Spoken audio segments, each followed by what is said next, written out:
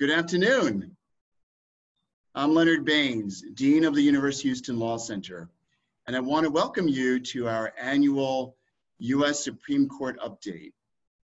It is one of the things that I'm most proud of that we do because we have a fabulous uh, panel of experts. Many of them are our faculty members, and they're going to be talking about a variety of issues dealing with LGBTQ discrimination and the EEOC, immigration law and asylum issues, uh, faithful or faithless electors and the electoral college and elections, uh, immigration law and tax law, and the uh, reach of tax law with respect to presidential tax returns by the US Congress and also by the Manhattan DA's office.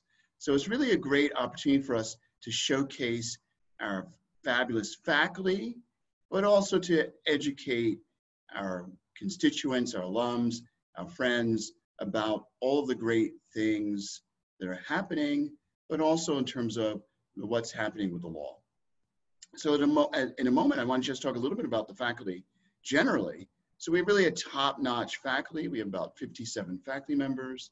Um, they are very well credentialed. Uh, 23 or more of them are members of the American Law Institute. Uh, they publish lots of books, book chapters, law review articles, and a wide number of them, a wide variety, a number of them, have published in the most high-ranking law reviews and journals in the country. So I'm very, very proud of the law faculty and of the law school generally. For those who are our alums, you know I probably have heard me say all this before, but we have a, a great law school. Um, our students are really top-notch with the highest credentials of a median LSAT score of 160, the highest in six years, and a median GPA of 3.61, which is the highest median GPA in the law school's history. But at the same time, we've been able to marry that excellence with diversity, where our students of color from underrepresented groups of African Americans, Asian Americans, Hispanic Americans constitute anywhere over the past five or six years from 35 to 46% of the student body. And for the past two years, the women students comprised over 50%. So it's a great institution, one that I've been dean for now six years. and a few days will be my six year anniversary as I move into my seventh year. But let me talk to you about the first panel uh, and the panelists.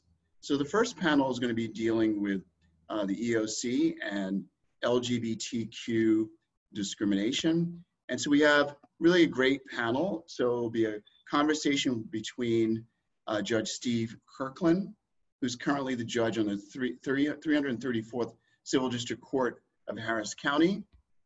He previously served as judge in the 215th Civil District Court and, and Houston Municipal Court. He lectures on communications law and ethics at the University of Houston. His professional career includes representing the City of Houston, international oil, oil companies, and individual homeowners. Judge Kirkland is active in promoting recovery from drug and alcohol addiction, affordable housing, historic preservation, and LGBTQ rights. Uh, his affordable housing projects have been recognized with awards by the Greater Houston Preservation Alliance, and he was awarded the 2006 Government Friend of the Homeless by Coalition of the homeless of Houston and Harris County. Let's welcome Judge Steve Kirkland. Our sec second panelist is Victor Flatt.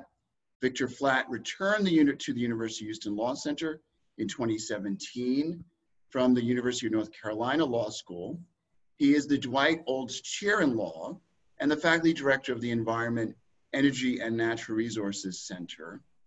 He also has an appointment as a distinguished scholar of carbon markets at the University of Houston's Global Energy Management Institute.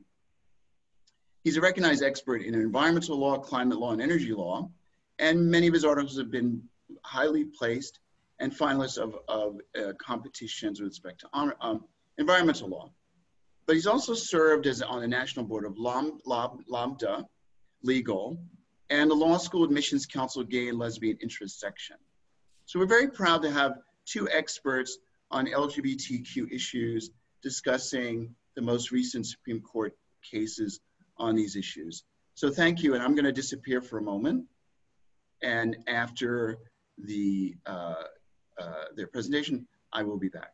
So thank Thank you, Dean Baynes, and thank you, Judge Kirkland, uh, for joining uh, today. I, I, before we get started, I just want to say how proud I am that Judge Kirkland is an alumni of the University of Houston Law Center. He's an amazing uh, judge, uh, has been an amazing attorney. His work in LGBTQ issues has been phenomenal, and yet he's even a great, great judge for environmental cases, which I've noted by seeing some of his opinions before. So thank you for doing this today, Judge Kirkland.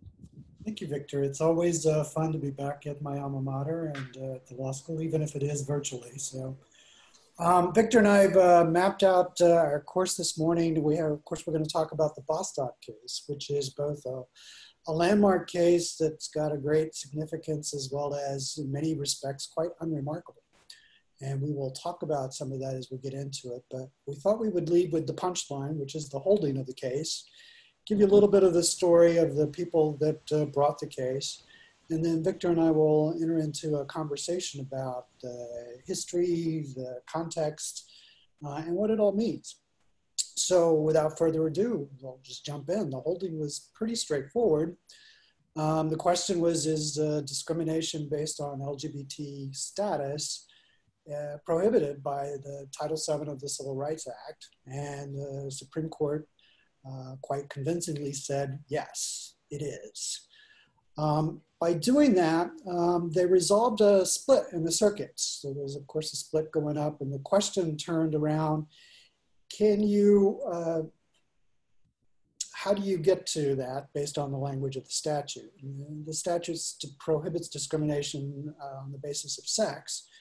And different circuits had reached conclusions that uh, discriminating based on LGBT status was in fact discrimination based on sex.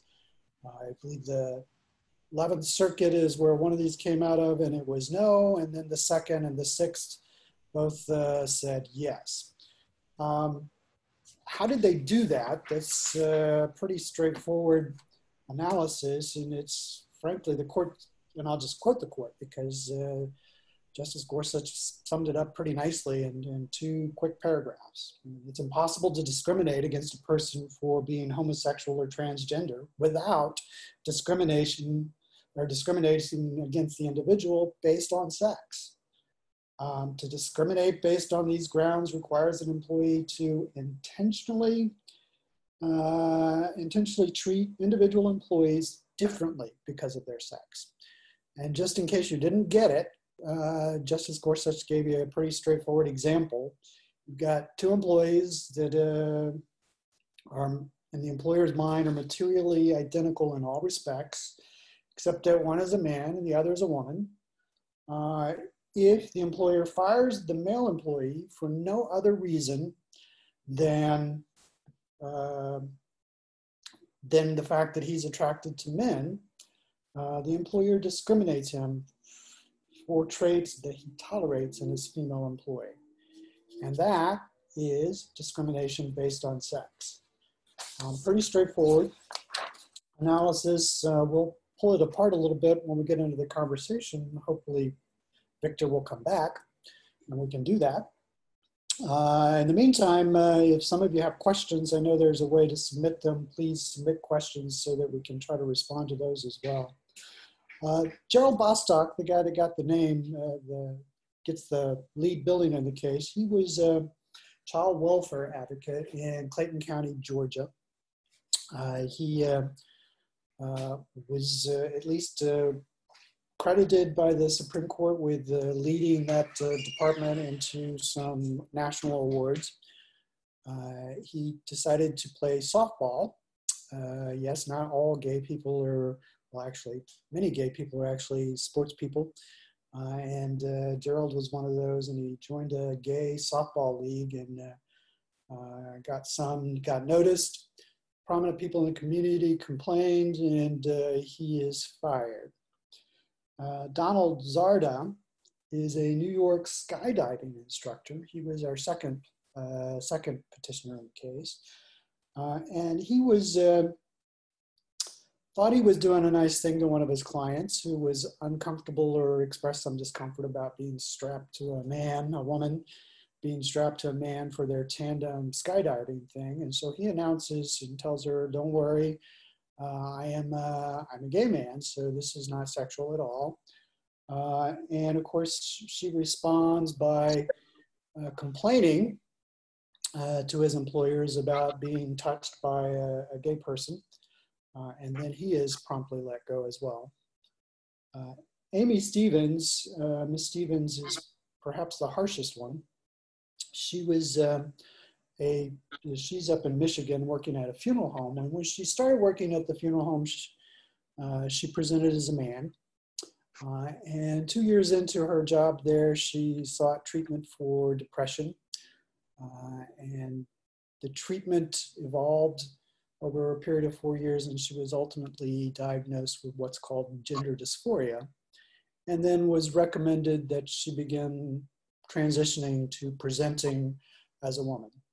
So on her vacation, she sent a, before she left for a vacation, she told her employer, when I come back, I am going to be presenting full time as a woman.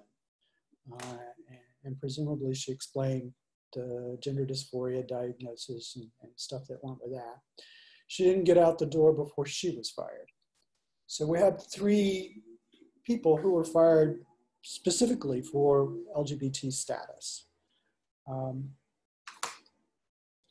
when the court, court specifically said all three of them were unlawfully discriminated against under Title VII, and they used the, each one of those was an instance where they were being discriminated on, on the basis of sex.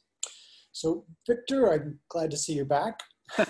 yes, I'm glad to be back. Uh, what a world we live in. Uh, yeah, yeah. Some, where I am and for no reason at all, but thank goodness we, we've got phones too, so. Yay. So this argument that uh, LGBT status is included in uh, discrimination against sex, where did that come from? Well, it's interesting. Um, it started, I mean, the, the person I like to trace it to, and I think you know of her as well, as Chai Feldblum, oh, who's yeah. a yeah, uh, who's a professor at uh, Georgetown Law School and was appointed to the uh, Equal Employment Opportunity Commission by um, President Obama. Um, now, you all will recall, if you followed uh, LGBTQ law, that for decades now, decades, um, we have been trying to get Congress to pass uh, Fair and Equitable Act, uh, Legal Equality Act, it's gone by many different names, which was essentially to modify um, the non discrimination laws that currently exist uh, to include uh, non discrimination based on sexual orientation at first, and then sexual orientation and gender identity.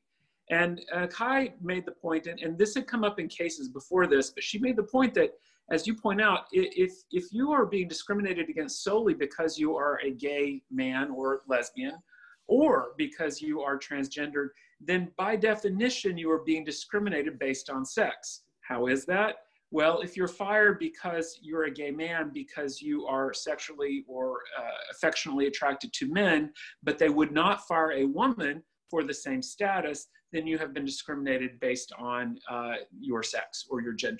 Uh, and the same, of course, for um, people with uh, gender identity issues or transgendered people. Um, and this made it sort of into the mainstream first with transgendered folks uh, based on some cases about uh, expectations of gender and what kind of makeup people wear and various other things. And it was sort of slow to get started. But once Chai came on the EEOC, she believed that that should be the official interpretation of the employment uh, equal employment opportunity commission and that became the position during the obama administration. Excellent excellent. And of course i think you we the term administration uh, changed that interpretation of the eeoc uh, but now the court has spoken. So the interpretation of the agency is less important than the court saying that the actual words of the statute do include um, making sure that there's no discrimination based on sexual orientation or gender identity. Now, the court also talks about how the folks that passed the Civil Rights Act probably didn't have sexual orientation or gender identity in their minds when they did that. Um, but that didn't seem important to the court, did it?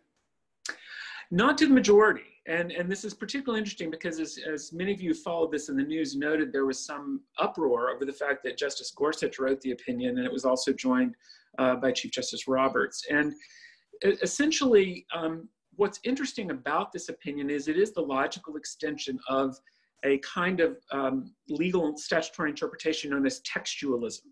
Um, and this has generally been supported uh, by more conservative jurists, the idea being that when you look to see the meaning of a statute, you just look to the, the, the text of the statute itself. You don't try to go behind it and then what look at the intent of the legislature, what they were trying to include or not include, because they should be clear within the text. And the theory behind this is to keep judges from being particularly activist, that they just simply look at the text rather than um, try to understand or put uh, words in Congress's mouth. And so when you look at the text, right, the text says no discrimination based on sex. And if you are fired because you're a man who loves a man, but you're not fired because you're a woman who loves a man, that is by definition discrimination based on sex under the textual, textualist example. Um, so in that sense, it, it's a very interesting opinion in that it does come from sort of conservative jurisdictional principles. I was um, a bit uh, dismayed or interested in the uh, dissenting opinion written by Justice Kavanaugh. Oh, uh, come on, Victor, admit you were annoyed. well, I, I, I, thought it was a bit of a sophistry. I'll, I'll just put it that way. Uh, because Judge, Justice Kavanaugh has also said repeatedly that he uh, supports the situation in textualism. But then he wrote in his dissent that uh, rather than adhering to literal meaning, that the court needed to adhere to ordinary meaning. Now, I've not seen that distinction in a Supreme Court case before. So uh, it's, it's interesting that he brings this up in, a, in an attempt to suggest that while the case based on sex discrimination might literally apply to persons of differing sexual orientations who are discriminated that way or gender identity, that uh, ordinary meaning of sex does not encompass that. And so he ends up creating, sort of, to me, uh, a new distinction out of whole cloth. Um, well, and he's doing what the majority said you shouldn't do with the statutory interpretation arguments, which is try to use the legislative history to introduce ambiguity into a statute. Correct. Correct. They were, they were saying you can't do that. I mean, first off, there's only what 500 people in Congress, and trying to figure out what all of them thought they were doing when they did it is kind of hard to do. Right. Uh, and, and then the court also pointed out that some people actually thought they did that because the minute the statute, the, the year the statute was filed, there were cases filed. Uh, Correct. Immediately, cases right. were filed. Right. And, and in fact, in, in, when, when there was lobbying going on against passing Title VII, one of the fears that were brought up uh, was, whoa, what about this is going to give uh, rights to, at that time, lesbians and gay people. I mean, it, it was, it was, that was a threat that was seen at the time, although Congress said, no, it doesn't apply to that, or some people in Congress said that. Right. Yeah. So, um, well, the, uh, Steve, yeah. I, I'm going to just ask you about this. I mean, you're much more familiar with the existing skein of laws in this in at the federal level in Texas. So, what does this case mean for LGBTQ people who are living in Texas? Uh, we don't have state non-discrimination protection. So, does this change what's happening now for uh, people who live in Texas? Yes and no. I mean, if you work for a federal employer like the University of Houston, uh, you're protected. Uh, but you know, most people don't work for federal employers. Most of us work for small employers, particularly in the LGBTQ arena. Uh, that's where employment has been for us, and that's where our people tend to go. And Texas law does not have uh, non-discrimination provisions. So the EEOC policy, the ruling from the court doesn't apply unless the statute applies. So you have to work for an employer that's big enough for that to occur. I believe so, that's maybe 50. Is it over 50? I think that Title VII might apply to. Sounds right. Um, I have to look up uh, the specific numbers every time uh, somebody cites a statute at me. So Right. um, uh, thresholds are something that, for reasons I don't understand, I have a hard time with. But uh, that's why I have rule books and you know computers to help me remember. Um, so yeah, so the folks in Texas aren't going to be aren't going to get the benefit of that, and there's actually only 21 states that have non uh, LGBT as a protected status because the court didn't do that, didn't create a new group of or a class of people that are in protected status. Uh, and they've resisted that throughout their history. I mean, from they flirted with it briefly in Roma, Romer, but they didn't do it. And every one of our advances have been on the basis of uh, finding a no rational basis to interfere with a particular dignity interest. Correct. So, Uh, yes. So, That's a, it, it's it is it's interesting, and in that sense, this case this case is so different in a certain way because it's not decided on constitutional grounds. Uh, it's decided. I mean, it could have been right. In theory, you could have challenged uh, the federal government for not applying it to something, et cetera. But this was simply on statutory interpretation grounds. Um, so some win for us in that if we work for large employers, we may be covered. Uh, but we'd still like to see the state of Texas uh, pass a non-discrimination law that would apply to all workers in the state as well, and as well as other things like housing and, and various other situations like that. So Yeah. Now, before people start saying, you know, well, surely the Supreme Court decision on this issue is persuasive in Texas, and you know, to Judge Kirkland, it certainly would be. Um, but the Texas Supreme Court has gone out of its way to make sure none of its decisions uh, or any of the statutes that are available uh, can be interpreted as giving protection to LGBT folk for any reason. Um, they were recalcitrant with the marriage decision in the Pidgeon case, and uh, uh, they're not not not not favorable to advancing LGBT causes. So, uh, folks in Texas may may have some rearguard actions to go, or at least LGBT folk in Texas will have rearguard actions to continue to push for their protection. So, You know what else I think is really interesting about uh, this suite of opinions is I think it shows an acceleration in the education of the justices um, and also the impact that society has on our judges. I, I, don't want to put words in your mouth. You're a judge, you're neutral, I understand. But I believe that all of our judges or justices uh, are affected by their own understanding of certain issues. And um, I know that uh, during oral argument, for these cases, there were some very strange questions asked. Um, that we had to uh, hear about the bathrooms again. There was a lot about, well, does this mean we're going to have to use this bathroom, or, or, or the state, or, or we can't, a private organization with over 50 people can't tell someone which bathroom they can use, et cetera, et cetera. Um, and you know there was about that, and then there were even some questions about non-binary issues of gender, which was not even before the court at that time, right? So they're sort of looking at, ah, we don't understand, or, you know, uh, what's this, what's going to happen, et cetera, et cetera. But when it came down to it, after the opinion came out some, I guess, eight or nine months after the oral argument, um, the majority sort of just says, you know what, we don't have to answer the question about bathrooms. That question isn't before us.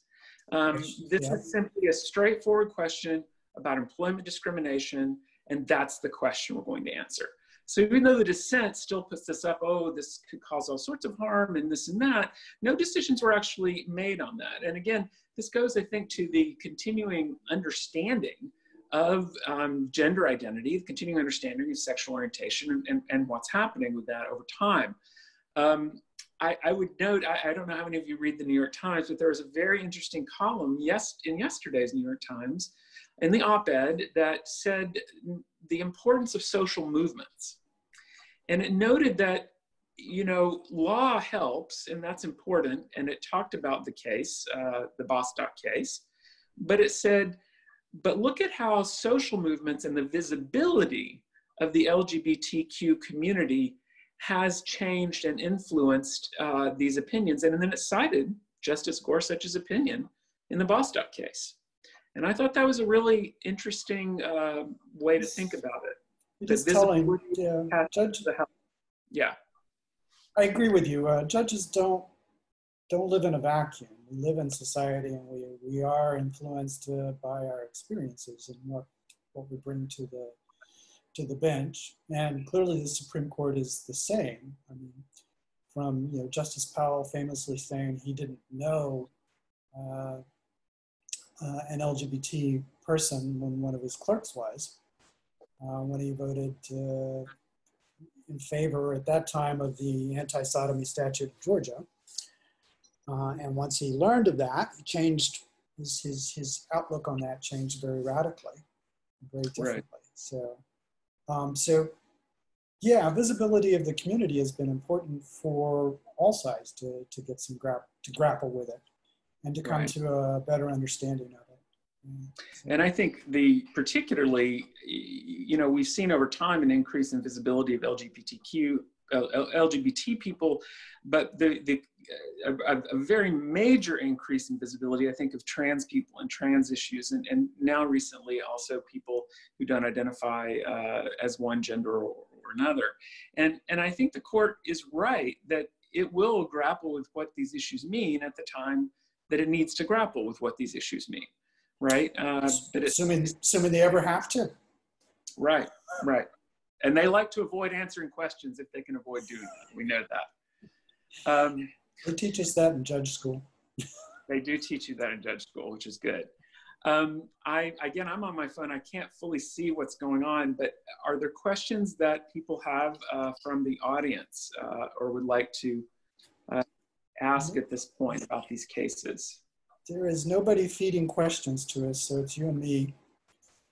And I assume they'll pull the plug on us when we're done. Okay, that sounds yeah. good. All right. Um, so the majority actually, uh, Justice Alito actually, in his dissent, had some very interesting points. And one point that he made, and and, and I think we kind of probably ought to, ought to deal with it, is he was saying these folks weren't discriminating based on gender. They were saying they were discriminating based on LGBT status.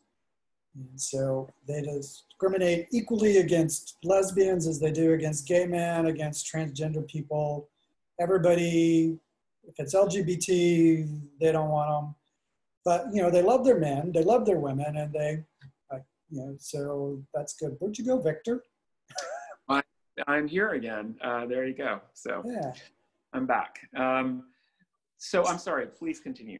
So the status question, uh, the basis of the status is LGBT. The basis of the discrimination is LGBT, not gender. And I'm right. curious. Um, that was an interesting argument to be making. Um, and, well, I, and I, go ahead. Go ahead. And I think I see it in you know. It's kind of the same argument as uh, you know uh, hate the sin but love the sinner. well, that's I think that's one way to look at it. I think the other way I look at it is it takes it just takes it back to this textualism argument, which is, you know, it, it you may your animus, you know, you, you may have animus toward this person because he is gay. But if your animus has the effect of literally discriminating based on the fact that the same actions of a man should, would, would allow that man to be fired, whereas the actions of the woman would, would not have caused the woman to be fired, then that is textbook sex discrimination.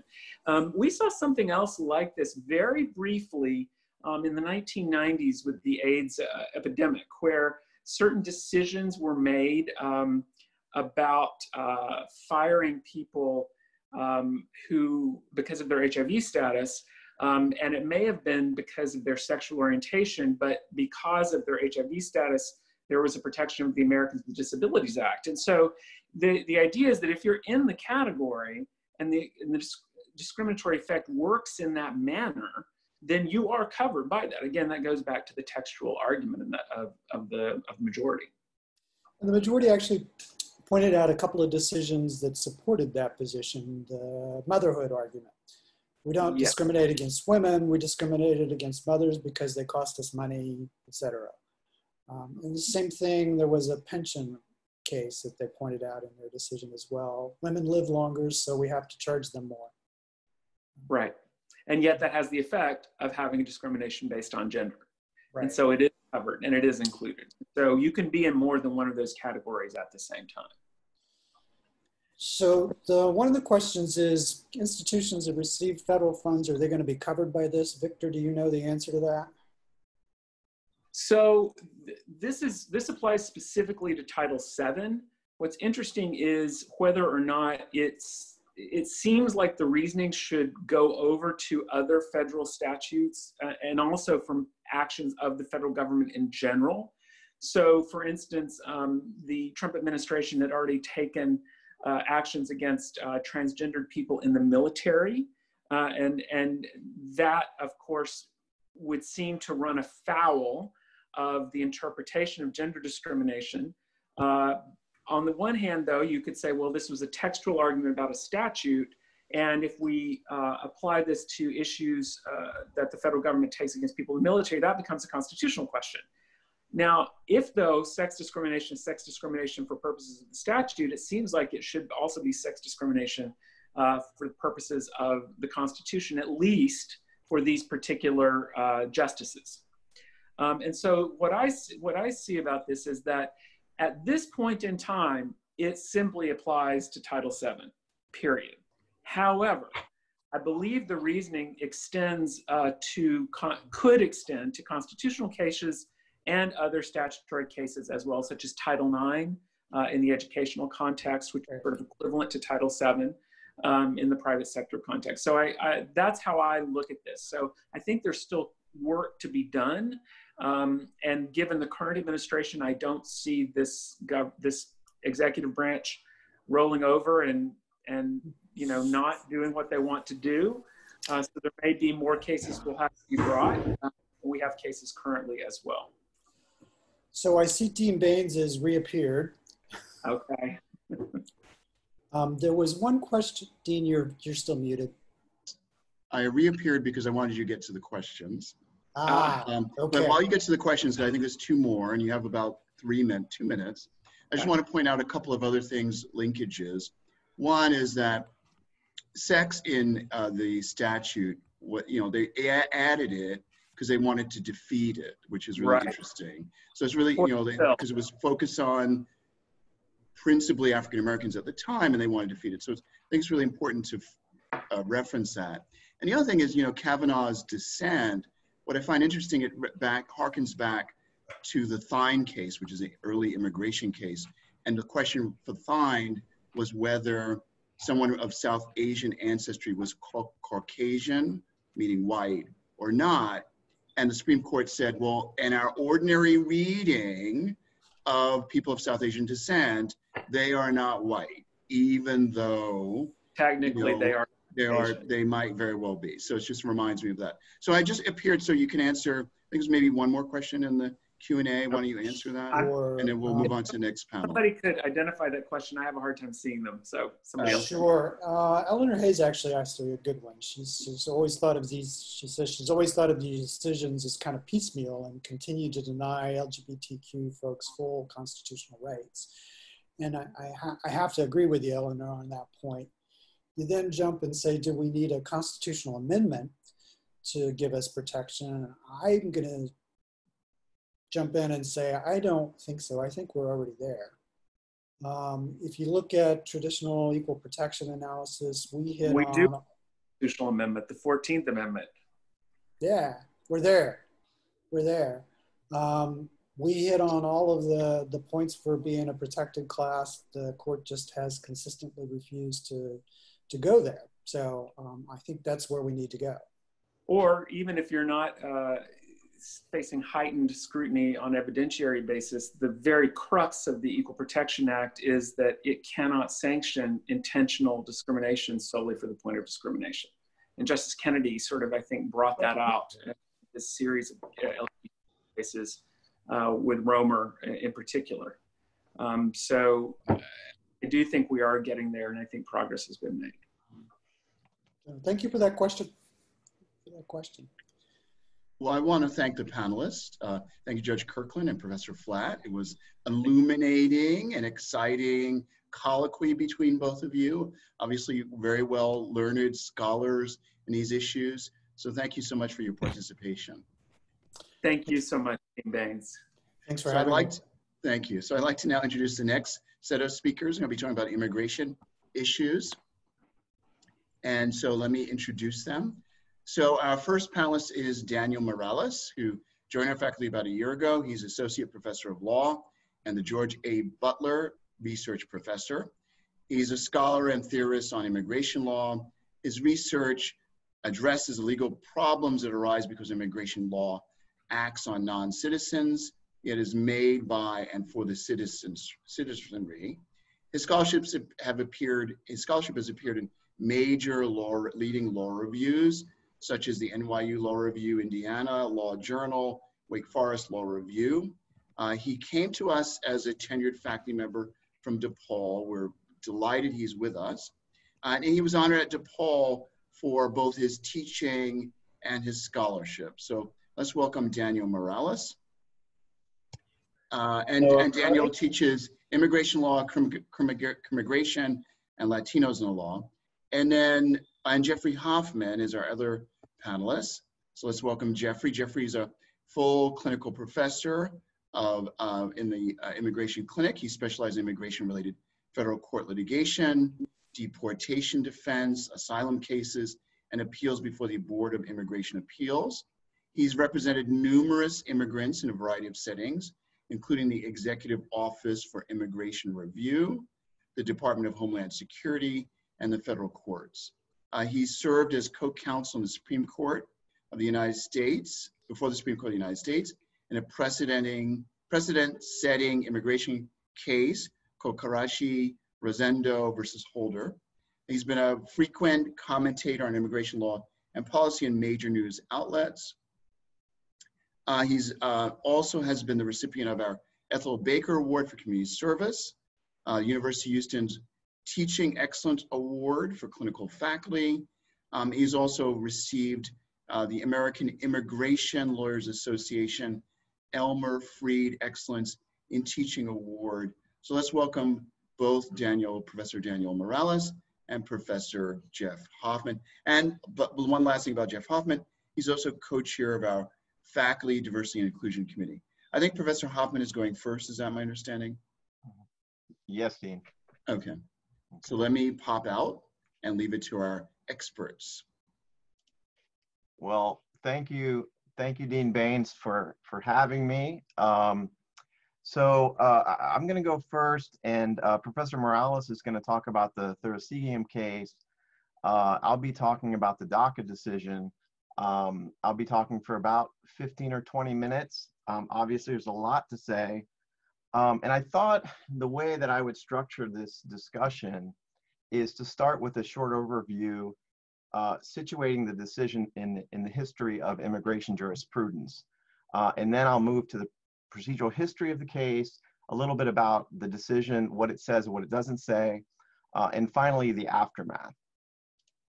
So let's start with uh, situating this, this monumentally important decision, this very important decision uh, on a couple levels in, the history of immigration jurisprudence. And so when I was thinking about this, um, you know, I think about, uh, you know, a lot of people may not study immigration law, maybe a, it's kind of a niche field. Um, so let's think about ways that you can categorize immigration cases. Um, so let's trace some connections. So the, the main, you know, uh, progenitor of immigration cases, uh, the grandfather, if you will, is uh, the Chinese Exclusion Act case from 1882. And what that says is basically Congress has plenary power over immigration. And the main reasoning there, the short answer is that because uh, of sovereignty. Okay, but nothing express, expressly in the US Constitution says plenary power uh, exists over immigration, nothing expressed, but it's kind of implied. It's implied from the structure uh, of the Constitution. Um, and then importantly, in terms of the quote unquote plenary power doctrine, we see various subsequent cases kind of talk about other sources of this power.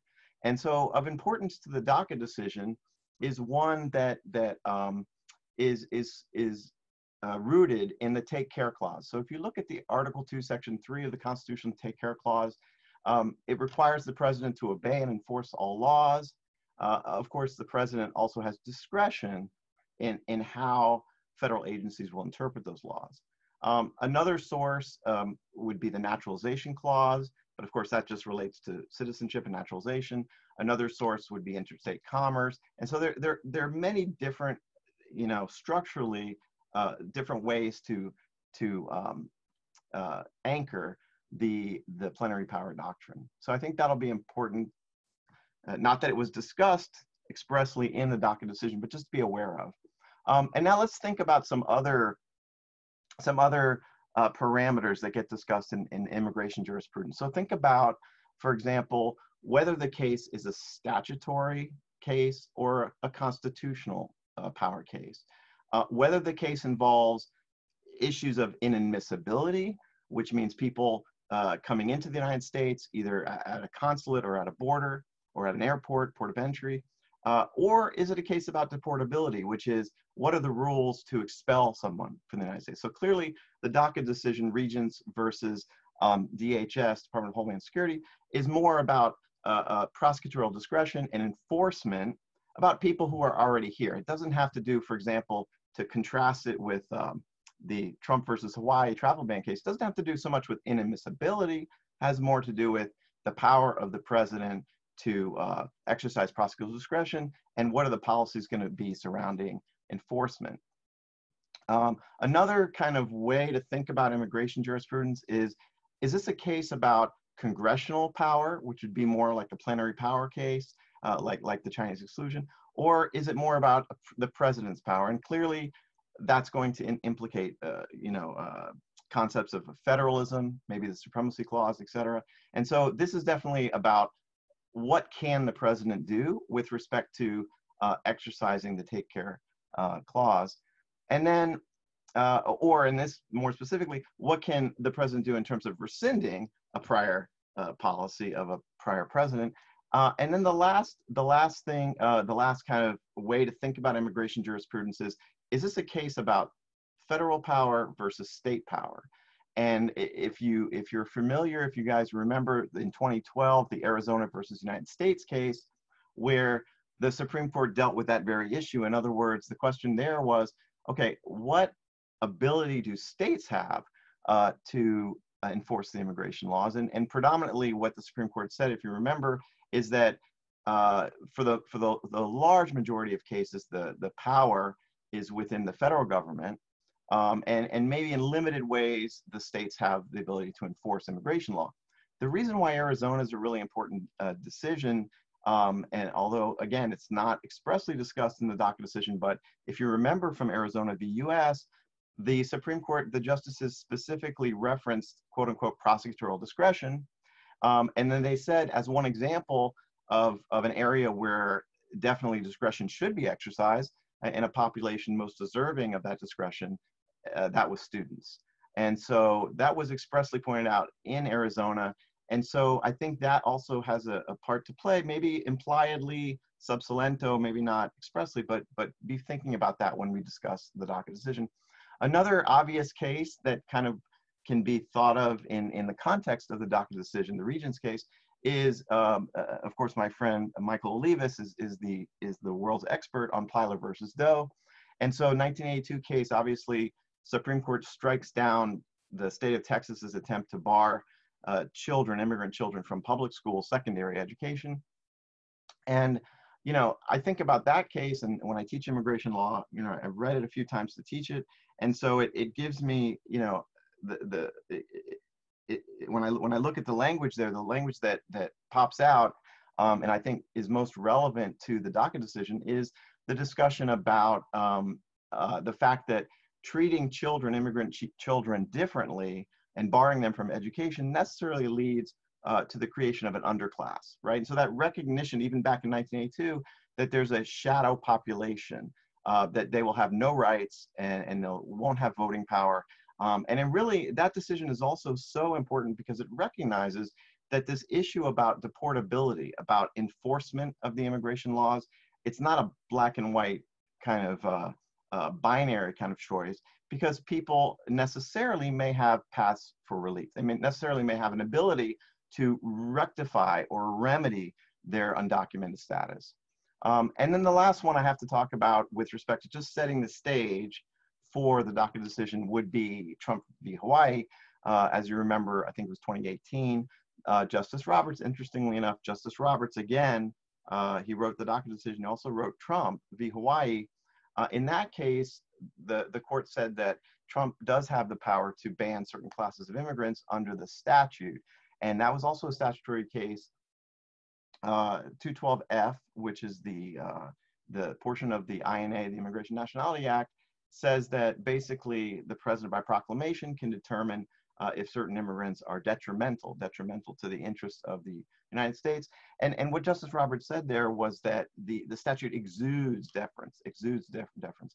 And as we will see, the DACA case turned out not as favorably for President Trump uh, in the agency in question, as uh, which is DHS, as did the travel ban case. So I think that pretty well sets up a little bit about what you might have in mind when you're thinking about and kind of um, analyzing the, the decision. So uh, I'm, I have about 10 more minutes. I'm going to try to um, discuss this uh, in terms of a little bit about procedural history and then hit uh, the, the decision itself and then a little bit about the aftermath.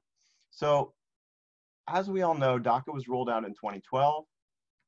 Um, basically, it provides for a two-year period of lawful presence, has various requirements, very strict requirements about, uh, you know, basically being in school or, or, being a graduate or, or being in the military, uh, and then certain, uh, you know, bars, uh, uh, you know, prohibitions on getting the, the DACA grant based on, you know, even even minor criminal convictions or criminal history can can knock you out. Um, it also provides, very importantly for most people, for work authorization. So that's the issue, a two-year period of work authorization and lawful presence. And during that period, you get a reprieve, quote unquote reprieve, from uh, deportation. Uh, importantly, it is not a pathway towards permanent residence. It is not a pathway towards citizenship. Um, in 2014, um, there was a challenge. Now, this is interesting because to, under, to really understand the decision, you have to understand that the challenge in 2014 by the states uh, against the, the, the, the president's policies at that point didn't have anything to do with DACA 2012. What it had to do with something called DAPA, which was an expansion of DACA. So interestingly, in 2014, they didn't challenge the underlying authority of President Obama uh, related to DACA. They challenged the attempt to expand it. And, um, you know, if we had more time, I could talk more about DAPA. Um, there, there was a lot of litigation surrounding that. Obviously, uh, you know, Judge Hanen very famously uh, issued a decision basically striking DAPA, again, not DACA 2012, but the expansion. Uh, then it went up to the Fifth Circuit. Um, eventually, uh, there was a split decision uh, from the Supreme Court uh, that that that enabled the Fifth Circuit's decision to stand. And so, suffice it to say that DAPA did not fare well, but the, those decisions, and this is important to to understand the full context. Those decisions didn't say anything about the underlying um, ability of of the president, in that case, President Obama, to to roll out DACA. Um, skipping ahead to September 2017, as we know, the Trump administration attempted to rescind the DACA 2012 program. Uh, uh, then acting secretary of DHS Duke um, promulgated a memo saying that DACA was illegal. And that was really based on the threat of litigation based on the prior Fifth Circuit's decision on DAPA. So that, that is very important because they're basing it on, uh, on the threat of litigation. And, and she references DAPA, but, there, but again, there's never been a determination that DACA 2012 was a violation uh, of the APA or, or a violation of the Constitution. Um, uh, basically, what happened then is um, the, the, the, there were several lawsuits uh, that, that, that then were filed by plaintiffs in order to uh, attack the rescission, in order, in order to attack it. So I, I talk about this. I have a, a, a, law review article called Legal Consequences of DACA Rescission. So I would um, encourage everyone to take a look at that if you want more details about those those uh, those efforts to attack or challenge the rescission. Um, basically, it's important to, to point out, interestingly, all three lawsuits, um, all three lawsuits turned out in favor of the DACA plaintiffs. So those were the Regents case uh, from, uh, from uh, California, the Batalla Vidal case from the District of Columbia, and then the N NAA versus DHS. Um, all of them rejected the Trump administration's arguments that there was no judicial review. And, and again, that's what uh, the government was arguing. And then two out of three found that the equal protection claim was adequately stated. Um, and importantly, um, there was another uh, uh decision uh, that, uh, or another rescission explanation uh, where uh, then DHS Secretary Nielsen basically provided another legal justification for the rescission, uh, but she declined to disturb Duke's rescission and explained why she thought Duke was correct. So the Supreme Court deals with both of those uh, uh, justifications. First, the Duke justification, and then the, um, the memorandum from DHS Secretary Nielsen. So very quickly, the decision. So the decision really can be uh, um, separated into two parts, right? Judicial review and then whether the rescission was lawful. Importantly, this is very key, the decision does not relate to the underlying uh, legitimacy or legality or constitutionality of the DACA program. Um, so understanding that, the only two issues were, remember, this is an appeal by the Trump administration. So what they were arguing, and, and the questions presented were, were twofold. One, does the Supreme Court have the ability to even review the, the rescission? And they argued no. Basically, they have carte blanche, they can do whatever they like. And then number two, the question is whether that rescission was lawful. So we know, uh, and again, it's very, you can take a look at the decision, very well discussed by Justice Roberts in, in the plurality. But they, the court soundly rejected the, the notion that there was unlimited power, unlimited power uh, on the part of the president to, to rescind. And so uh, basically finding very clearly uh, and expressly that there was judicial review. And then with respect to rescission, uh, the court then says this was arbitrary and capricious. So it really goes down to a statutory um, determination under the APA that the way it was done uh, was was arbitrary and capricious and violative of of the APA. And, and most importantly, and, and I also wrote about this as well, most importantly, Justice Roberts really picked up on something that wasn't brought out very much in the oral arguments, but, but he really did a good job, in my opinion, by pointing out, wait a minute, there's reliance interest here. There's very, very, very important reliance interest on the part of DACA recipients that uh, Duke, first Duke, and then Nielsen failed, just completely failed to uh, pay any attention to. Um, so now uh, I think because I am limited in time, I'll, I'll, skip over, you know, the, the concurrences and the dissent by Thomas Alito, Alito and Gorsuch. Um, but let's, let's think about in the last couple of minutes, I think I have two more minutes. Let's think about the aftermath. Okay, so what, what now? So obviously and expressly from the decision, uh, we know that uh, with respect to the underlying DACA program, the court expressed no opinion, okay? So it doesn't mean that DACA is constitutional. It doesn't mean that DACA is unconstitutional. That's subject to remand. That's subject to future litigation. Um, and so what now is the, the, the aftermath? So a couple questions uh, arise. Does USCIS, which is the agency uh, that adjudicates these cases, accept new applications? Do they grant advanced parole or, or continue with renewals? Um, and then number two, what does the agency do now um, and how quickly do they act. So we know a little bit about what what's the agency's position is now because obviously the Supreme Court's decision was June 18th. Um, a district judge on July 17th uh, in a case Casa de Maryland versus DHS on July 17th, the court held that the pre-September 2017 DACA program must be reinstated um, due to the Supreme Court's decision uh, and, and acknowledged that it was vacated, the rescission was vacated due to the Supreme Court's decision. So now a lot of, a lot of uh, commentators said, well, wait a minute, the agency has to accept new DACA applications because of that interpretation from the district court and, and, and the way that that played out. However, we thought that was what would happen. But then on July 28th, there was a policy memo issued by DHS that explained that it would reject all initial DACA requests. And it seems, it appears to me, that that is a violation of the Supreme Court's decision. Um, and so that'll be subject to further, further litigation. You can look it up online. I won't go into the details about why or what the concerns were um, with respect to the DHS's reasoning, why they th thought that they could uh, circumvent the Supreme Court's decision. But it's a very fascinating read if you uh, Google the July 28th uh, and look up the July 28th uh, memorandum. So I'll, I'll stop there. I'm happy to take questions uh, after Professor Morales, or maybe Professor Morales will have questions for me. Um, and I'll turn it over to him at this point. Thank you. Hey, thanks, Jeff. Um, no, that was great, and you did a really nice job setting up sort of the broader picture. So, which I'm going to then build on here. So, um, I'm going to talk about a case called DHS v. Um, I hope I got that right. Um, but uh, the case is very technical in a particular way, but I, and we're going to go through some of those technicalities. Um, but the when push comes to shove, this is a case about procedure, and it's a case about whether the Constitution sort of protects immigrants um, and their right to access procedure.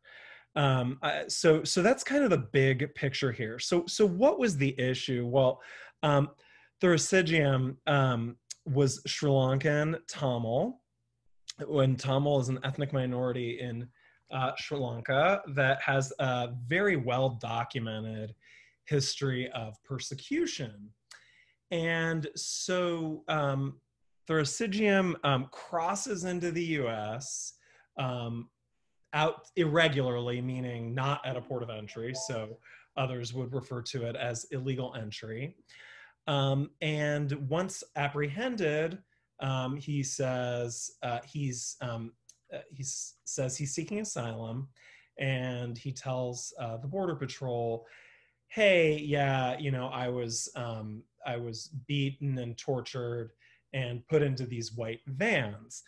Um, so not a ton of detail, um, but that's what he tells them. So so then what happens? Well, the border um, the border officers um, reviewing his what's called credible fear claim for asylum decides that this isn't enough to move him into the sort of lengthy asylum process where there's time to put together materials, potentially get an attorney, um, and put together a real case for asylum.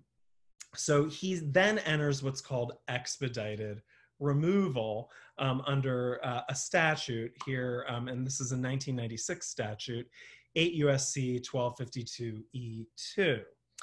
So this statute had not been used very, uh, not a ton until really the Obama administration. And it's part of the story of Obama's crackdown on um, immigrant communities and his efforts um, uh, so he says, of course, um, to show sort of enforcement seriousness in order to get um, a deal in Congress um, that uh, would allow for DACA recipients to have legal status as well as regularize the rest of the undocumented population. That plan did not work out for reasons that you probably know if you followed politics in the last um, 10 years. Um, and so um, he nonetheless sort of set this precedent of using expedited removal quite a lot to sort of speed up the rate of deportations and allow the administration to process more deportations. And this is part of the reason why immigration advocates um, called him the deporter in chief. Anyway, so Thuraissigiam gets onto this expedited removal track which basically, um, you know, means he's going to be leaving the country very soon. Um, the uh, his he gets attorneys. The attorneys file an emergency habeas corpus petition on his behalf, um, basically seeking access to um, access to um, new procedures where he can present his asylum claim and alleging that the um, DHS officers that conducted the credible fear interview violated the statutory terms of the credible fear statute, right? So this is, here we are. So so it, this is and, and this is why I wanted to give some some big line context first because it's this is about habeas. This is the great writ, right? This is what you know the oldest writ in the land. Um, you know this is part of the Magna Carta. Um, you know this is and the Constitution, of course, has a clause called the suspension clause, and the suspension clause says that the writ of habeas corpus shall not be suspended but for uh, you know a very narrow set of emergencies that usually happen by statute. Okay, over time the suspension clause has been read um, to protect sort of a core amount of access to habeas corpus proceedings. Okay, and habeas corpus, another point of history, and this is partly why this was um, a kind of a shocking decision for some, is that habeas has been one of the primary means by which, historically, non citizens have sought um, to challenge immigration laws as applied. So, all those cases Jeff was talking about, like the Chinese exclusion cases, um, Yick Wo v. Hopkins, all these sort of banner cases that we all teach in immigration law, those all come up procedurally on a habeas corpus petition. Okay. In the modern era, however, Congress has consistently sought to strip the role of the federal courts in reviewing immigration decisions. And so our current reality is a um, much more administrative law setting and administrative adjudicative setting for immigration proceedings, whereas in the past and really um, before the 90s, um, district, federal district courts played a role in reviewing um, various immigration petitions. Um, and of course, the appellate courts, as they still do, but more narrowly, um, uh, played a role. And so, what's the big picture results of that? Well, the administrative state is much more invested in deportation and immigration enforcement and much less invested in the rights of immigrants, right? Because those rights are super inconvenient because, oh my gosh, you've got to keep this guy in the country for a year and a half and you've got to, you know, give him all this process. And by the way, he could abscond during that period, right? And so, and, and I say this, this is, this predates Trump significantly, um, this phenomenon of um, sort of really, um, really, uh, uh, I would say kind of uh, low grade procedural protection. Okay. So, what do we have then, right? In this era of, oh my gosh, like, you know, you, you, me, Tamil refugee, Thuraissigiam, I'm crossing the border, you know, to try and get asylum, right? I get picked up 25 yards into the border, and you know these guys say okay well you know do you have any claims to assert and so you know he says he was abducted in Sri Lanka. He was tossed in vans, um, you know, which, and he said he was Tamil, right? And if you know anything, and the State Department country reports say this, if you're Tamil in Sri, Sri Lanka right now, you have problems. And if you're getting tossed in a van, it's probably because you were being persecuted, okay? So, so the core here is that under any kind of fair procedure, that ought to be enough, or this is what the lawyers are trying to say, that ought to be enough for this unsophisticated person to get more process, right? And get a real asylum adjudication heard, okay? But because of expedited removal and because of choices the Trump administration has made to close off ports of entry and to sort of make asylum the right way harder to access, right? you have this situation where the great writ becomes sort of the last guarantor of appropriate process in asylum.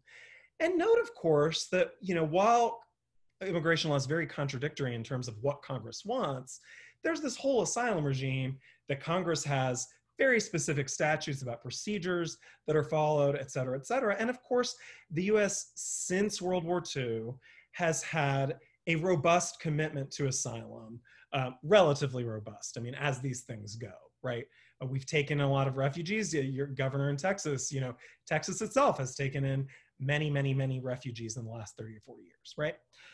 Okay, so that now we're that's a lot of background, and I promised myself I wouldn't give that much background. But now to the meat of the case. Okay, so the majority holds that um, that the that Thuraissigiam is not entitled to relief in habeas corpus. Okay, um, and they hold that based on what I would call a very stingy view of the history of the habeas corpus right. So um, the court um, says that, and, and, you know, and this gets to the stinginess of it. Um, the court says that plaintiff himself, Thuraissigiam, has conceded that the only possible way habeas could save him here is if in 1789, at the moment of founding, habeas was understood to provide the relief that he seeks. Okay. And then what the court says is they characterize, uh, because habeas, by the way, right? If what is habeas? Habeas is really have body, right? Habeas corpus, I have the body, show the body, right? So it's a way of attacking um, um, confinement um, by the state, okay? And so the normal, sort of the classic remedy in habeas is release from state enforcement, right? So from from from being in jail or being in custody, okay? So so so how does the court get to saying that this is not going to fly for Thuraissigiam? Well, the court says in 1789 um, Thuraissigiam is not seeking release he's seeking to remain in the country lawfully. Okay, so you could really quibble with this characterization, and the dissent does, um, but that's what they say. Okay, so he's not seeking release, and so that is not consistent with the writ in 1789. Okay, um, and moreover, the case law that Jeff and I were talking about, uh, or that I was talking about earlier, but that Jeff alluded to, which is that um, all these cases about non-citizens come up on habeas, including cases at ports of entry, by the way. Um, the court says, well, in those cases, um, the immigrant uh, or the non-citizen had been entered in the United States and was being held after entry. Okay, so they make this distinction between entry, like an immigrant who has been admitted entered the United States and an immigrant who is quote unquote still at the threshold. Okay. So this is, you know, if you want to teach about legal fictions, this is a classic legal fiction, but it's one that's functioned for, for hundreds of years in immigration law, which is being at the border is not being at the border. so case law, for example, um, and statute sort of defines the border zone as within 100 miles of the US, which of course, as you know, in Texas encompasses a lot of Texas. Um, so in any case, they say you can't have this writ for two reasons. One, you're not seeking precisely the right relief, and the only kind of relief you you could you you the relief you need is to be permitted to stay in the U.S. and we can't do that, right? Based on the written 1789, um, and then of course um, you're also uh, they distinguish this whole other line of case law by saying, oh no, but that's for people who have already been admitted sort of ignoring a bunch of other realities. Okay. So that's the basic, that's the core holding. No habeas in the in these circumstances. All right. Now hopefully, and I would love to hear what Jeff thinks about this, hopefully that will be read somewhat narrowly. Um, and you know, the court allows for that possibility. On the other hand, it does seem to signal a sea change for the following reason, which is the court sort of gratuitously decided to also rule on whether due process applies at all. Fifth Amendment due process applies to um, immigrants, quote unquote, at the threshold at all. And for that, they held, guess what? It doesn't. And that, I think, really raised a lot of, of, of hackles in the immigration community when we read this. Um, and that's because as I always say to my students, immigration law is a constitution free zone for the most part. You know, all the normal constitutional restrictions don't apply. And frankly, you know, when Trump rolled around in 2016 and started you know, doing all these novel things with immigration law, there was some hope in the community that old precedents that really sort of established this constitution free zone would be overturned just because of the express racial animus of the president in many cases um, and because of um, how aggressive the actions were and how without historical precedent they were. But they have not. They've mostly, you know, and I think DACA even fits into this in a sense because, you know, DACA was an APA case. But on the big constitutional questions, the courts have upheld 19th century law for the most part, or sort of Cold War era law, um, or, or, sort of you know, and or just reaffirmed those and not extended some of the cases that provide more immigrants' rights um, that have that like Plasencia and some other cases.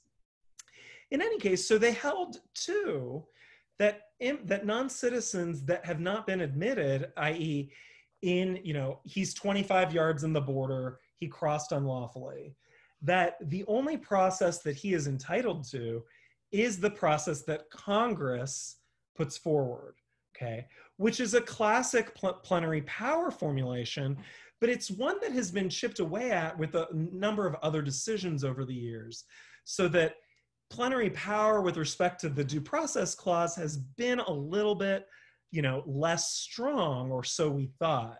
This points us in a direction that um, I think many of us had not foreseen in the immigration community, and certainly puts a placeholder on the fact that Alito is open, I think, to more challenges to due process rights in these settings. But as far as the holding goes, at least under the facts of this case, unlawful entry, you know, very close into the border, very brief period of time, the court said due process equals not what the Constitution says, but what Congress says. Um, and, and whatever Congress says is the process equals due process. So that was, again, um, sort of an alarming uh, thing in the immigration community that happened in this case. So um, I won't talk a lot about the dissents, although they're wonderful. Um, I think Sotomayor's dissent, um, she's been on a roll with her dissents, um, and uh, Justice Kagan joins Justice Sotomayor in um, dissenting in this case. Um, but her her dissent, I said, I, I, would call sort of a bluff calling dissent she goes into extraordinary detail about the Great Writ um, and how it evolved over the course of American history, its traditional um, uh, role in challenging immigration disputes. And I think her most persuasive argument is that um, the suspension clause did apply in that era, right? In the 19th century era that Jeff and I were talking about. So, and, and, here I'll get a little bit in the weeds. This is a little bit of a nerdy conversation, but it might be interesting to some of you.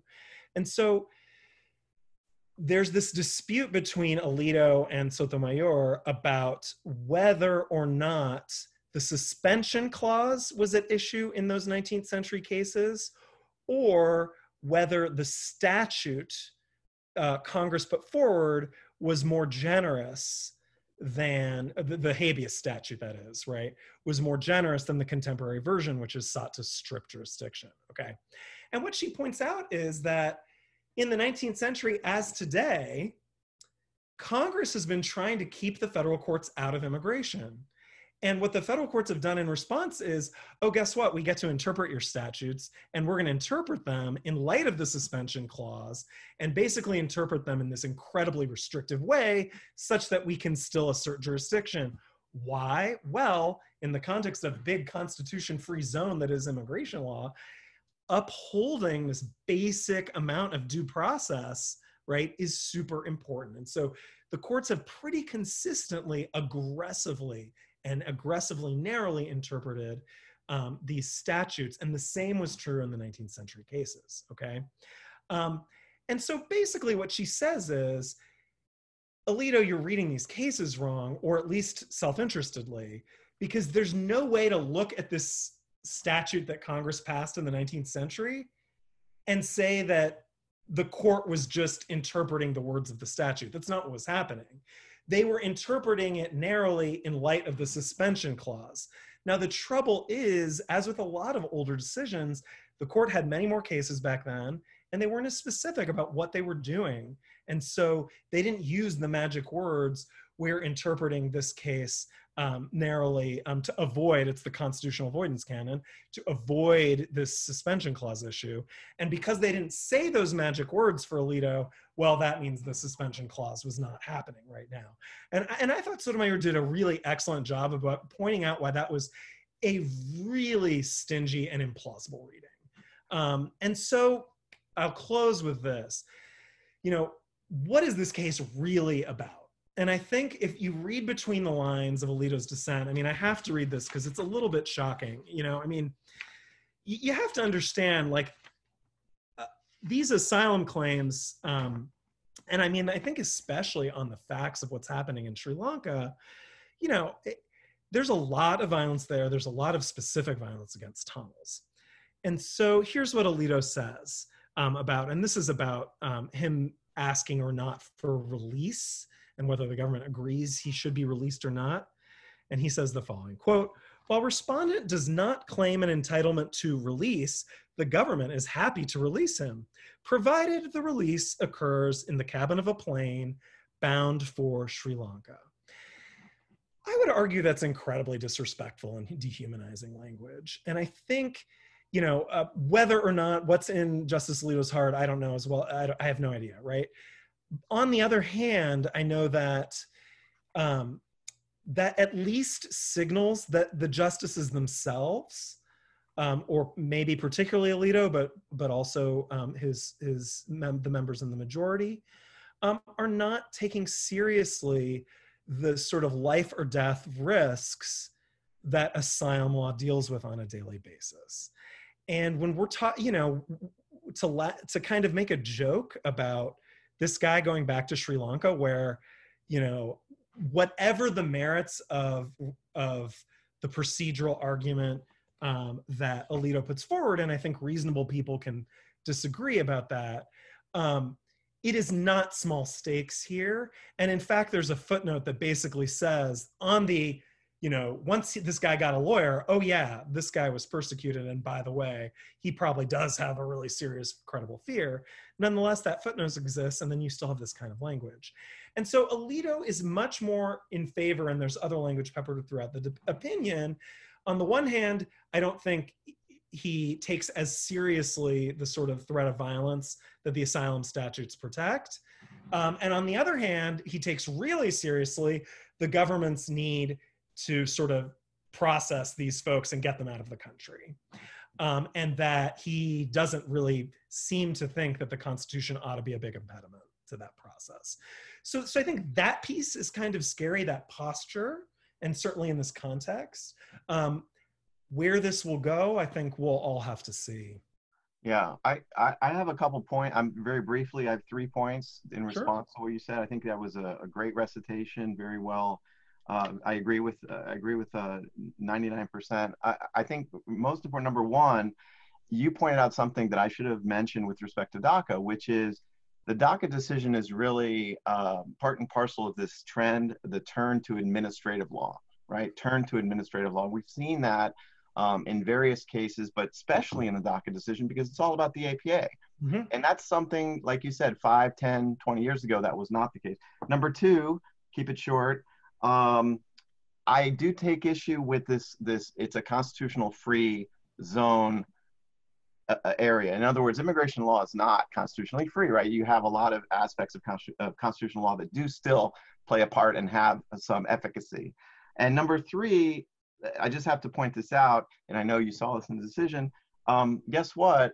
Enemy combatants get habeas. Right, right, right. Don't. Yeah, thank you, Jeff. So yeah, interesting. I think that should should be yeah. mentioned uh, and how well, the court and, and, and that, that. Yeah, no, you're right. And and the other point there, and and I know Dean Baynes is is itching for us to get off, um, but uh, yeah, no, I mean, and, and I think though what that points to though is that it's not at all clear that you know Boumediene, the decision you're alluding to, is going to go anywhere or or it might aggressively retreat, right? Um, and it certainly seems that Alito is signaling he doesn't agree with St. Cyr, by the way, which is also established precedent that um, you know, habeas applies. Lastly, on the con- constitution free zone, I hear you. When I say that, I, I mean it kind of dramatically. And I, I, what I mean is, you know, the normal rules don't apply, right? It's a little bit Alice in Wonderland. Yes, there are rights. Yes, you know, we fight for them every day and you fight for them every day. Um, but they are not as robust and plenary power does give Congress a lot of leeway to do things like race discrimination, for example, um, that we would not tolerate in other areas of law. But point well taken, Jeff. Thanks so much. I have one question that says APA question mark. Administrative Procedure Act. And yes, I know that, but I don't know what it's. I think she's Maybe. asking, what does it mean? Administrative Procedure Act. Ah, okay, great. Uh, you know, we have, we're, uh, is, are there any other questions I would ask? Um, we're running a little bit of time, but it'd be great to have a little bit of audience participation. If not, we can go to the next panel. Someone asks a question. Thank you for the coverage, DACA, great result, but goes not to the merits at all. And we still have a very scary situation with respect to individuals seeking asylum. There's a grave danger to the upholding of human rights and the makeup of the SCOTUS gives me zero relief. So it's a comment more than a question. Okay. I share your fear. Wow. Thanks, Dean, for inviting us. Well, thank you. I think it was a very vibrant conversation. You can see we have such a, a fabulous immigration stable of faculty members here. They're really amazing. And we're very, very thankful for your um, sharing your expertise with us today. So thanks so much. Thanks so And let me turn to the next panel. Uh, well, it's actually one panel member, one person. And let me introduce him. So it's Professor Teddy Rave. Uh, he is also the George Butler Research Professor and a Associate Professor of Law. Uh, he writes and teaches in the area of civil procedure, complex litigation, constitutional law, and election law. His scholarship focuses on the problems of governance across a range of institutions. He's a publishing phenom. He's published in a wide variety of leading law journals, Harvard Law Review, California Law Review, Duke Law Review, Georgetown Law Review, Vanderbilt Law Review, among many others. Uh, he's also been uh, uh, quoted in popular press, such as the Wall Street Journal, the Financial Times, NPR, Houston Chronicle, and he's a sought after speaker at some of the top law schools Yale, Harvard, Stanford, NYU, Duke, UCLA, among many others. He's won our university wide Teaching Excellence Award, and he's also a member of the American Law Institute. Let's welcome Professor Teddy Rave, who's going to be talking about election law issues, specifically, I believe, the faithless or faithful electors, is my understanding, right? Depends and that's very important as we move into this presidential election year. So take it away, Professor Rave, and I will disappear. Um, well, thank you, Dean Baynes. Um, so, uh, as the dean said, I'm going to talk about uh, Chiafalo against Washington, which is the faithless elector case. Um, so, uh, as we all know, uh, the president and vice president are chosen by the Electoral College, uh, not by popular vote. Um, but the actual mechanics of this process are, are, are really quite arcane. Um, the, the mechanism is pretty clunky. Uh, lots of people think it's unfair. Uh, and typically the, the main objection you hear uh, is to the allocation of electoral college votes, uh, which of course gives more voting power to small states than to big states. Um, and twice in the last five elections, the loser of the national popular vote went on to win the electoral college uh, and therefore the presidency. So we hear constant calls for reform uh, to shift to something that looks more like a national popular vote, uh, either through a constitutional amendment uh, or more recently through a, a, a, workaround like the National Popular Vote Plan. Um, but the framers of the Constitution uh, didn't trust the populace to elect a president directly. Uh, and so they built a, a rather elaborate system uh, to allow state legislators uh, to appoint electors who would then go on and vote for president. Uh, and some of the framers uh, expected those electors to exercise independent judgment on a sort of a civic Republican model. We're going to pick the best people uh, and they'll make the best decision for all of us. Uh, so Alexander Hamilton and John Jay uh, wrote in the Federalist Papers, for example, that uh, electors would be the most enlightened and respectable citizens, and they'd be capable of analyzing the qualities needed in a president, uh, and that they'd deliberate before making choices that uh, reflected their discretion and discernment. Um, but one thing that, that Hamilton and Jay and the other framers didn't anticipate was the rise of political parties. Uh, and the electoral college system uh, uh, essentially broke down by the third time it was used and had to be totally revamped with the 12th Amendment. Um, so the, the, the way it works uh, is basically this. Uh, each state uh, is allocated the number of electors equal to the number of representatives in the House that it has, plus its two senators. So you can see the overrepresentation of, of small states because they uh, get the senators uh, as well as the, the House uh, of Representatives, which are allocated on a population basis. Um, and those electors are appointed uh, in such manner as the legislature of each state may direct. Uh, and then the electors, once they're appointed, meet in each state in December, so a month after what we typically think of as election day. Um, and then they transmit their votes for president and vice president to Congress, which then counts the votes. Uh, a, a, person who wins a majority of the electoral votes, so 270 votes today, uh, becomes president. And if no one gets a majority, then the House of Representatives picks the president from among the top three candidates.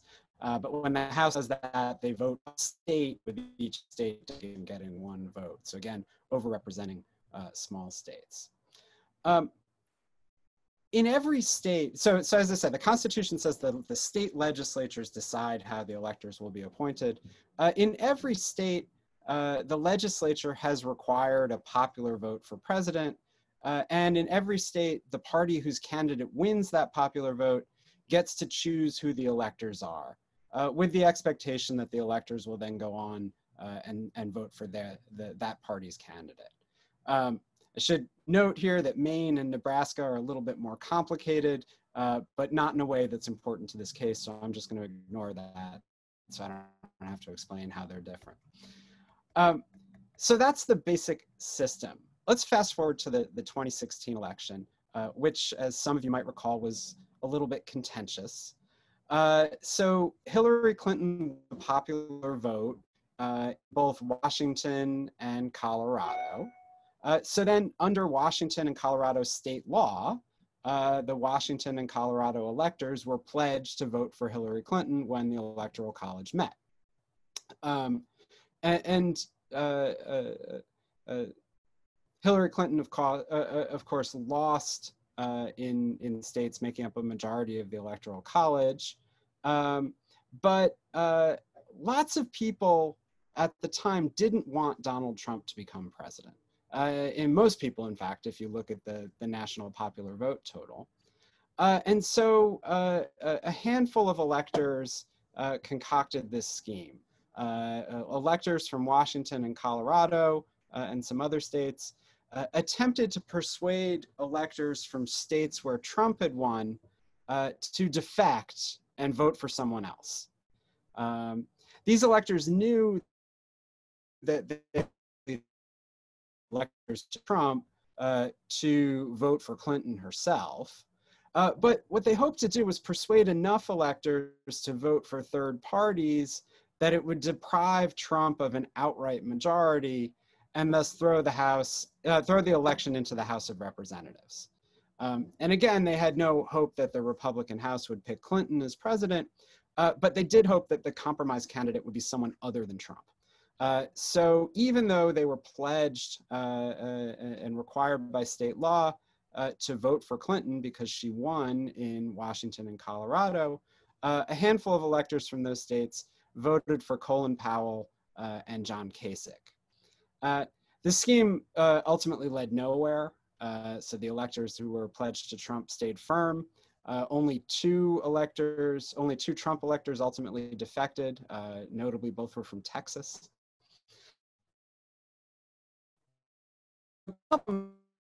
These for these electors, though, and, and what led to the case here uh, is that both Washington and Colorado have laws that punish such faithless electors. Um, faithless elector laws are actually pretty common. So 32 states have laws that require electors to vote for the candidate who won the popular vote in that state.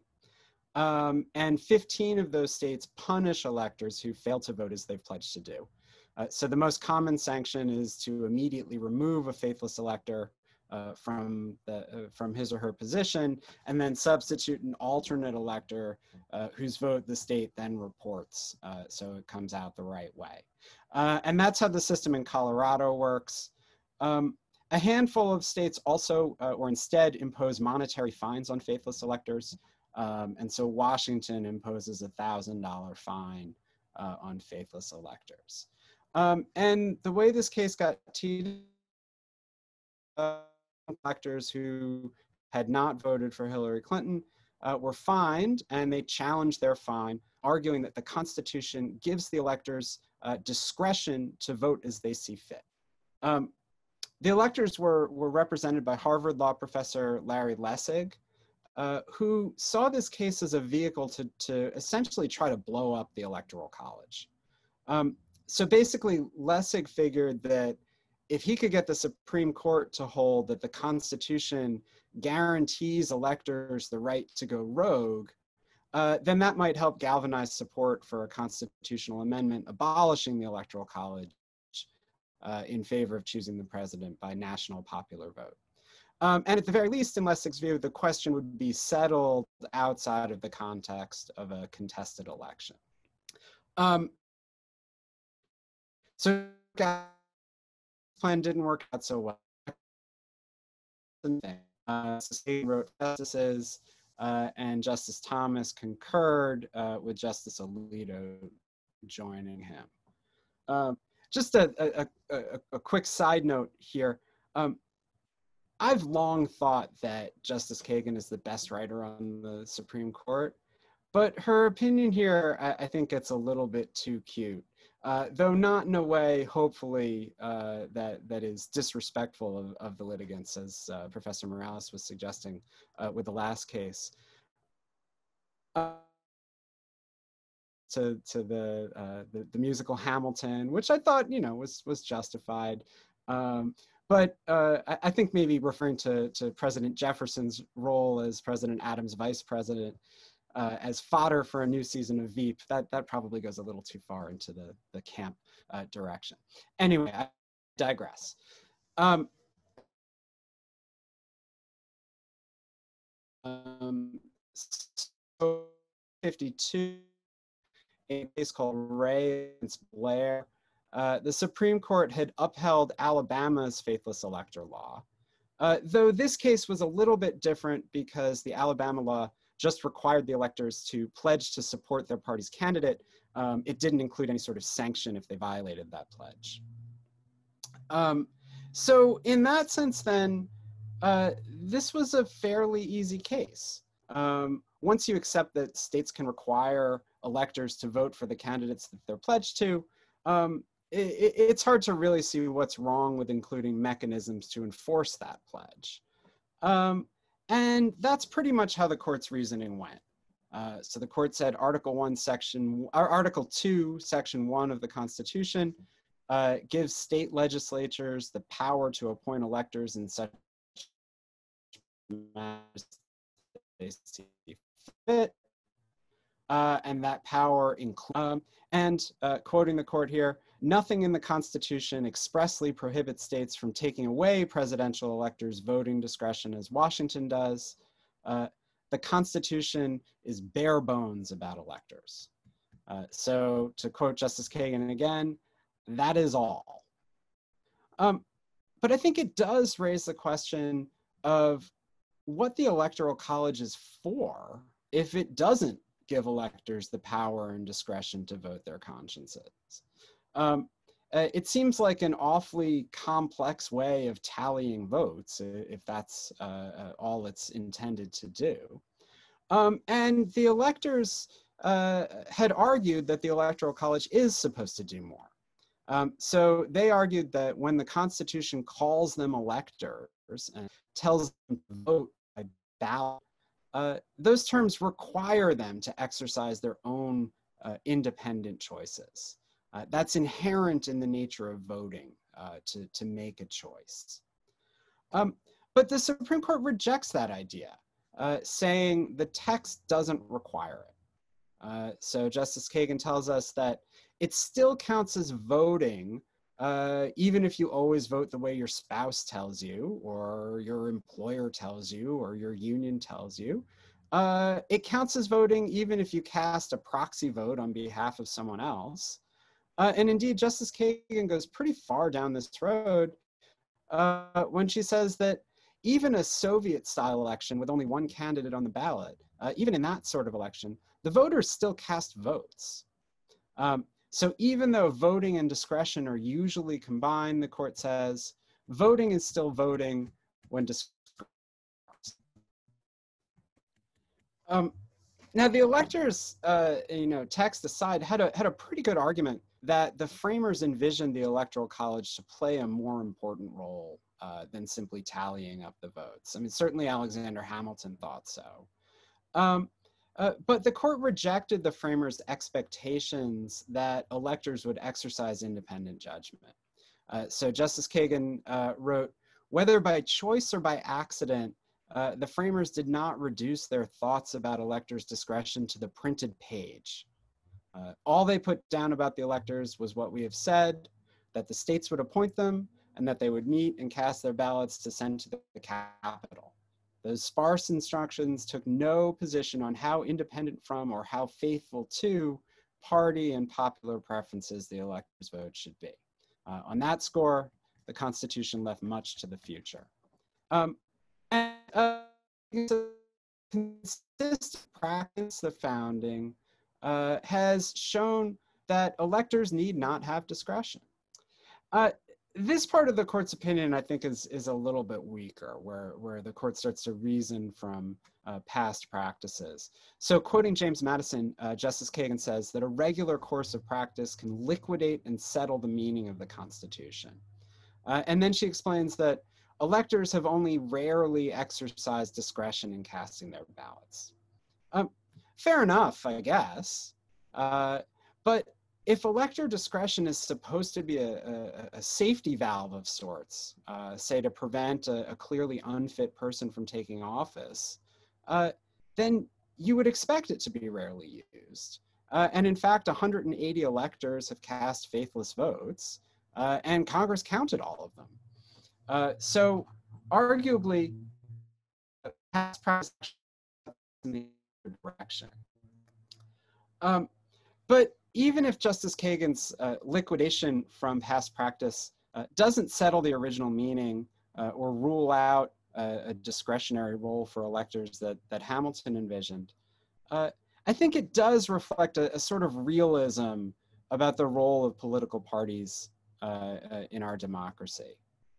Um, and, and with that, I'm going to pause for a second because I see a bunch of comments here that uh, maybe the sound is coming out, going in and out. Uh, is this better? Is it, is it working now? I guess it's hard in this format for people to respond.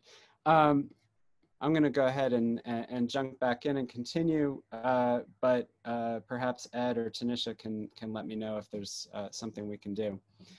Um, all right, so as I was saying, uh, just a, more realist view about uh, the role that political parties uh, play today. Um, so the, the, the, Constitution was silent on the role of parties, uh, and the framers tried very hard to prevent their emergence. Uh, but they failed pretty miserably on this score, uh, and soon found themselves at the heads of competing parties. Um, and ever since then, electors have been chosen on a party basis. so, so from the very beginning, uh, electors were chosen for, for their pledges, uh, not for their judgment. Um, and uh, uh, uh as Justice Kagan says, the, the 12th Amendment cements that partisan understanding of the role of the Electoral College. Um, so uh, the original Constitution had let each elector cast two votes for president, uh, with the top two vote getters becoming president and vice president, respectively. Uh, and the idea behind this, presumably, was that choose the two. Um, but that turned out to be a total disaster. So the election of, of 1796 ended with bitter rivals John Adams and Thomas Jefferson as president and vice president. Uh, and the election of 1800 ended in a tie between Thomas Jefferson and, and Aaron Burr. Um, so, uh, uh, so, so the 12th Amendment changed that procedure uh, and set it up so that electors vote for a party slate uh, of president and vice president. Um, and before long, uh, uh, if as we as we go into the the nation's history, the electors themselves faded into the background. Uh, so legislatures got out of the business of directly appointing electors uh, long ago in favor of holding uh, elections. Um, and candidates for elector aren't even listed on the ballot anymore in most states. So when people go to vote, they vote for the presidential candidate, uh, and the winning party then picks the slate uh, of electors who are pledged to the winners. Um, and I think this is probably the strongest argument uh, in favor of faithless elector laws today. Uh, nobody votes for electors to pick a president for them. Uh, no one even knows which electors they vote for. Uh, so to, to let electors who people didn't even know they voted for go rogue uh, would undermine the legitimacy of the presidential election. Uh, certainly through Modernize, uh, and and even to, to to some voters in 1796, as as Justice Kagan points out. Um, and electing electors to make a choice for the voters uh, goes against modern uh, realist democratic theory. Um, so uh, the the framers, of course, didn't try popular. And, and, modern political theorists largely agree that voters are ignorant. Um, but the Hamiltonian response of giving discretion to the Electoral College uh, is exactly backwards as a response. Um, so people are, are rationally ignorant about most of the issues that they're voting on uh, and most of the candidates that they're voting for. People have more important things to do in their lives than be glued to, uh, to C-SPAN. Um, uh, but to think that voters are going to be better at choosing largely anonymous electors uh, than they are at choosing a president uh, is ludicrous. Uh, so you'd have to be hiding under a rock not to be able to tell the difference between Donald Trump and Hillary Clinton, uh, or Joe Biden for that matter. Uh, but I bet no one, no one here today has any opinion at all on whether Chris Suprun or John Harper would do a better job of picking a president. Um, both Chris Suprun and, and Harper were, were Texas electors in, in 2016. Uh, Suprun actually went rogue and voted for Kasich. Uh, Harper voted for Trump. Uh, so the court rejects the idea uh, that electors are going to play some civic Republican role uh, uh, in choosing the best president. And instead it goes in, in the, the realist direction and recognizes the role that political parties play in our democracy, uh, even though the Constitution is silent on them. Um, that direction, the court says, accords with the Constitution as well as with the trust of the nation that, that here we the people rule. Um, and it lines up more with, with what the public thinks and would find legitimate today uh, than what the framers desired in 1789. Um, just a, a, a couple uh, more thoughts before I open it up to questions. Um, first, I think this case would have been a much bigger deal had it come out the other way. Uh, so many people feared chaos if the court held that electors were free agents. Uh, so, uh, so just imagine that one candidate wins the nat national popular vote handily, uh, but only wins states with 268 electors, while the other candidate carries states with 270 electors. Um, this is hardly an implausible breakdown. Uh, the, the pressure to get a couple of electors to flip, I think, would be tremendous. Uh, and you could certainly imagine norm defying candidates openly lobbying electors to switch. Uh, or worse, uh, with the stakes so high, you might even have to start worrying about candidates or, or outsiders bribing electors to, to switch their votes. Um, and I think this, this chaos or potential of chaos was actually part of Professor Lessig's thinking in bringing the case. Um, a Supreme Court holding that electors or wildcards who are free to wreak havoc might help galvanize support for a, a constitutional amendment abolishing the Electoral College uh, in favor of a national popular vote. Um, I'm maybe a little bit less worried about that sort of chaos than some other commentators. Um, we had the, the potential for similar chaos at the Republican National Convention in, in 2016. Uh, so the Republican Party elites uh, had the formal power to change the rules uh, surrounding delegate voting and counting in a way that could have blocked Donald Trump's nomination. Uh, but even though lots of Republican elites at the time uh, vehemently opposed Trump, they never pulled the trigger on that. Uh, uh, they, they just couldn't go against the wishes of the Republican electorate that chose Trump in the primary elections. Uh, a last minute change like that would have lacked legitimacy and, and, and would not have likely been accepted. The Electoral College uh, seized the role that Hamilton envisioned for it, uh, and after the people's votes were in, uh, rejected the choice that the voters made, the results wouldn't be viewed as legitimate. Um, popular elections, uh, not elite control, are just too ingrained uh, in our thinking today. Uh, and, and so it's hard to really imagine many electors actually making that kind of a choice. Um, now, perhaps the risk of a, of a handful of rogue electors is greater than the risk of a rogue uh, of, of rogue party bosses. Um, but if the Supreme Court had held that electors were free agents, uh, I think the pressure to appoint staunch loyalists as electors would have been very, very strong, and the, the people least likely to defect would have been the people uh, appointed. Uh, but again, I think that uh, this just highlights the anachronism of the institution.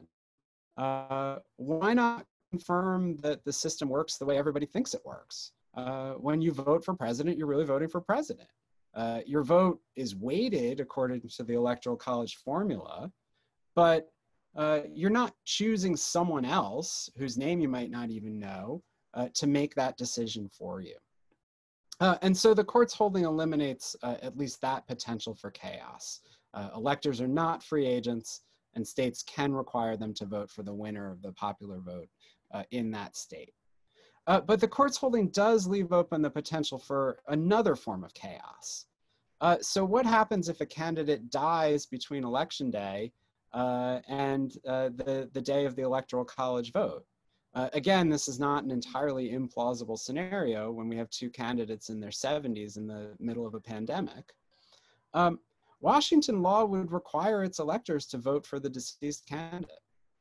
Um, the court recognizes uh, this possibility and, and inducts it. So the court leaves open the question of whether laws binding electors to vote for the dead candidate uh, would be constitutional in that situation.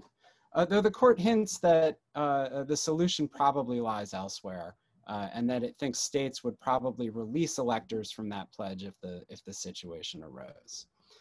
Um, one final thought. Uh, so one really good thing about this case is that it was decided now uh, outside the context of an election. Uh, so I think if the outcome of the contest between Trump and Biden hung in the balance, uh, the court's decision about whether faith, faithless electors are bound by their pledges uh, could lead to uh, a, a full-blown constitutional crisis. Um, so uh, it, it's always important to have clear rules going into elections, and so at the very least, this the, the court's in this clarify those rules. Uh, and with that, I'm happy to, to take questions.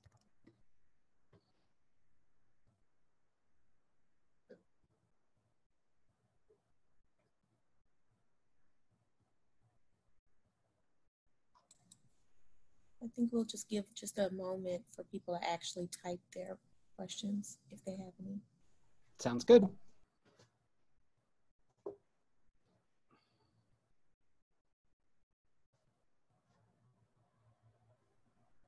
I'll ask you a question. Okay.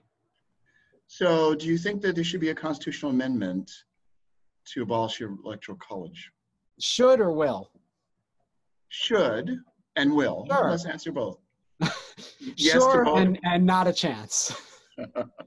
um, you know, this is one of those things where, uh, as I said, the Electoral College is an anachronism. Um, and I think that the court's holding in this case sort of recognizes that it's really, the Electoral College is really about uh, allocating voting power among the states and overweighting the votes uh, of less populous states. Um, and that's a you know that's a, a, political compromise that we see elsewhere in the constitution. The senate does the same thing. Uh, other parts of the constitution that we've changed thankfully like the three-fifths clause also did the same thing. Um, and so the uh, you know we can argue about whether that is anachronistic. Um, i think it's hard to defend uh, just from a, a democratic theory standpoint. Um, and I think most people think that uh, everyone's vote should count the same.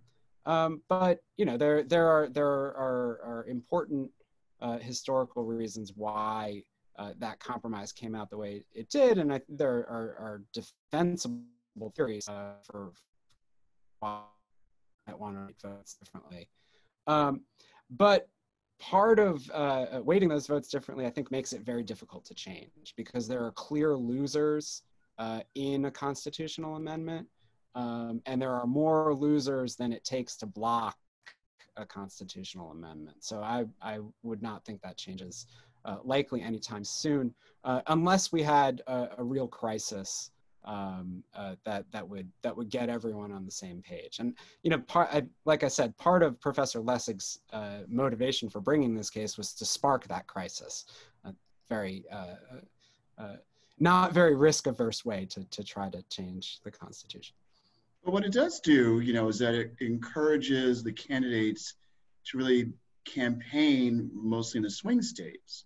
So states that they know they're generally going to win, you know, because they're heavily Democratic or heavily Republican, the part they will basically ignore, even though they may be big states with big populations, like you know, Texas maybe, you know, Texas or New York or California, for instance, usually fall in that category. But if it's another state that, you know, where the electorate is, you know, divided and swings back and forth, you know, they're focused just on Ohio, Wisconsin, uh, Pennsylvania, to some degree, Florida, et cetera. And so it does seem as though, I hear what you're saying, but does it seem, seem as though that there are, you're not really getting the interests of the whole country uh, necessarily discussed or evaluated, at least at election time. It really is just those narrow, that narrow window of whatever 10 or maybe now it's 13 states, I think this time it will be. I don't know. What are your thoughts on that? So I, I don't I don't disagree with that at all. I don't think that helps us get any closer to to actually amending the Constitution. Um, but know, in any way that you design the electoral rules, they're going to have an impact on how candidates campaign and, and what policies are enacted. It's it's really hard to to separate out that process from from the substantive uh, results. Um, and so, you know, you see it, lots of swing states are farm states, and you see mm-hmm. lots of, you know, historically lots of support for farmers. Um, and you could say that that's a distortion uh, or you could say that actually that that was sort of the point. Um, and like I said, I I would I would much prefer a, a system where we have a national popular vote. I mean, we have one office in this country that's elected nationwide. I would think that everyone should get to vote in that, and that everyone's vote should count equally in that. Um, but but it's it's it's hard to get there from here. I think. I guess the other thing is I think President former President Obama in his um, eulogy for uh, Congressman Lewis indicated that maybe one of the solution is having Washington D.C. and Puerto Rico made states. Um, I don't know what your thoughts on that. So, so for the audience, Teddy Rave and I usually talk politics all the time. So, so I, so I just. But, but we, we've been distant. we've been distant, exactly. So we haven't had a chance to talk. um, questions in the Q and A. Should maybe we should take a few from the Q and A. Yes, exactly. Uh huh. Um, so what do we have here? So it's interesting that most states, I think 48 are winner take all by simple majority, leaving the possibility that 49% of the voters may really have no voice. Are my thoughts correct? I guess that's the whole issue with respect to, um, you know, the case that dealt with um, political um, uh, representation, a little bit, I guess, with respect Uh, a, a little bit. I think this the, Mhm. this question is going at a at a different phenomenon here, right? If you have a, a winner take all allocation, you know, say you have twenty, your state twenty electors, um, and uh, uh, the the vote goes fifty one percent for Democrats, then the and the state is is so then the forty nine percent Republicans get no electors. Um, and that's really up to the states how they want to allocate their electoral votes. Um, and actually, early in the country's history, a lot of states did it proportionally. They did it by congressional district or by county or, or some other way so that the, the electoral votes from the state would be split uh, to reflect the, the voting breakdown. Um, but what happened there, and again, it, you know, the, the, the, the process affects the outcome, which affects the policy. Um, big states like Pennsylvania uh, allocated their votes proportionally, and small states like Rhode Island or Delaware allocated their votes winner take all. Um, and that skews the outcome towards what the smaller states favor. Um, so if Texas were to unilaterally say, we're going to go, uh, we're going to we're going to do it proportionally, um, you know, in recent elections, Republicans would win somewhere between 55 and 60 percent of the electoral votes, um, but Democrats would get a huge uh, a huge boost in in the outcome, um, and uh, it, you know states that that allocate their votes uh, on a winner take all allocate their electoral votes on a winner take all basis uh, end up having more power working together.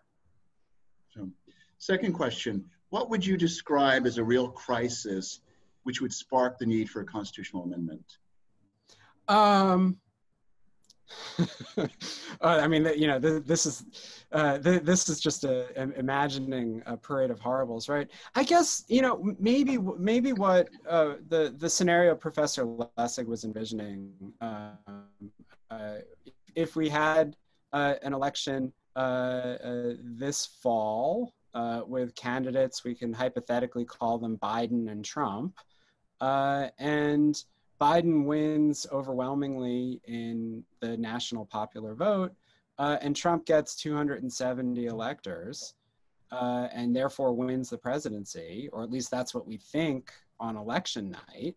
Um, and then there's there's huge lobbying uh, to get a handful of electors to switch, and that happens. And Biden goes on to win, or or it gets thrown to the House of Representatives, and someone else wins. Uh, I think there'd be a lot of soul searching after that election, and I think you, if when when you when you see something break down like that, uh, that's the kind of situation where you can get a, a, a, consensus to to change something like the like like the electoral college. I mean, that'd be interesting. I think uh, certainly. I'm sorry. That would be interesting. I think, but you know, the challenge, of course, is you say it's a question of power, you know, and who has the power, who keeps the power. You have that were to happen, you know, the question is like who wins and who loses is would be part of the issue. And we've now had within the past 20 years, actually 16 years, two situations, two elections, presidential elections, where the popular vote diverged from the electoral college vote, um, which is sort of significant, and it possibly, as you point out, could happen again uh, at some point in the future. So that does raise issues, but you know, people may not want to change it for the obvious reasons. Last question though. Is there any truth to the assertion that the Electoral College is a result of the Three-Fifths Compromise? Meaning, is the Electoral College tied to slavery? Um, so I'm not a historian, and I, know that historians argue about this question. Um, so I don't I don't want to weigh in too much on what uh, what the historical evidence says about about about the, the link between the two. But I can tell you about the effects. Um, and the effects are, are absolutely. Um, so uh, uh, the, the first, I'm gonna, I'm, I'm gonna get the number wrong. Uh, the, the, the vast majority of the early presidents were Southerners. um, because the, the Three-Fifths Compromise did give uh, the southern states uh, more uh, representation in the House of Representatives uh, proportional to their population than the northern states, um, which, you know, by the, the electoral college formula translates into more electoral college votes.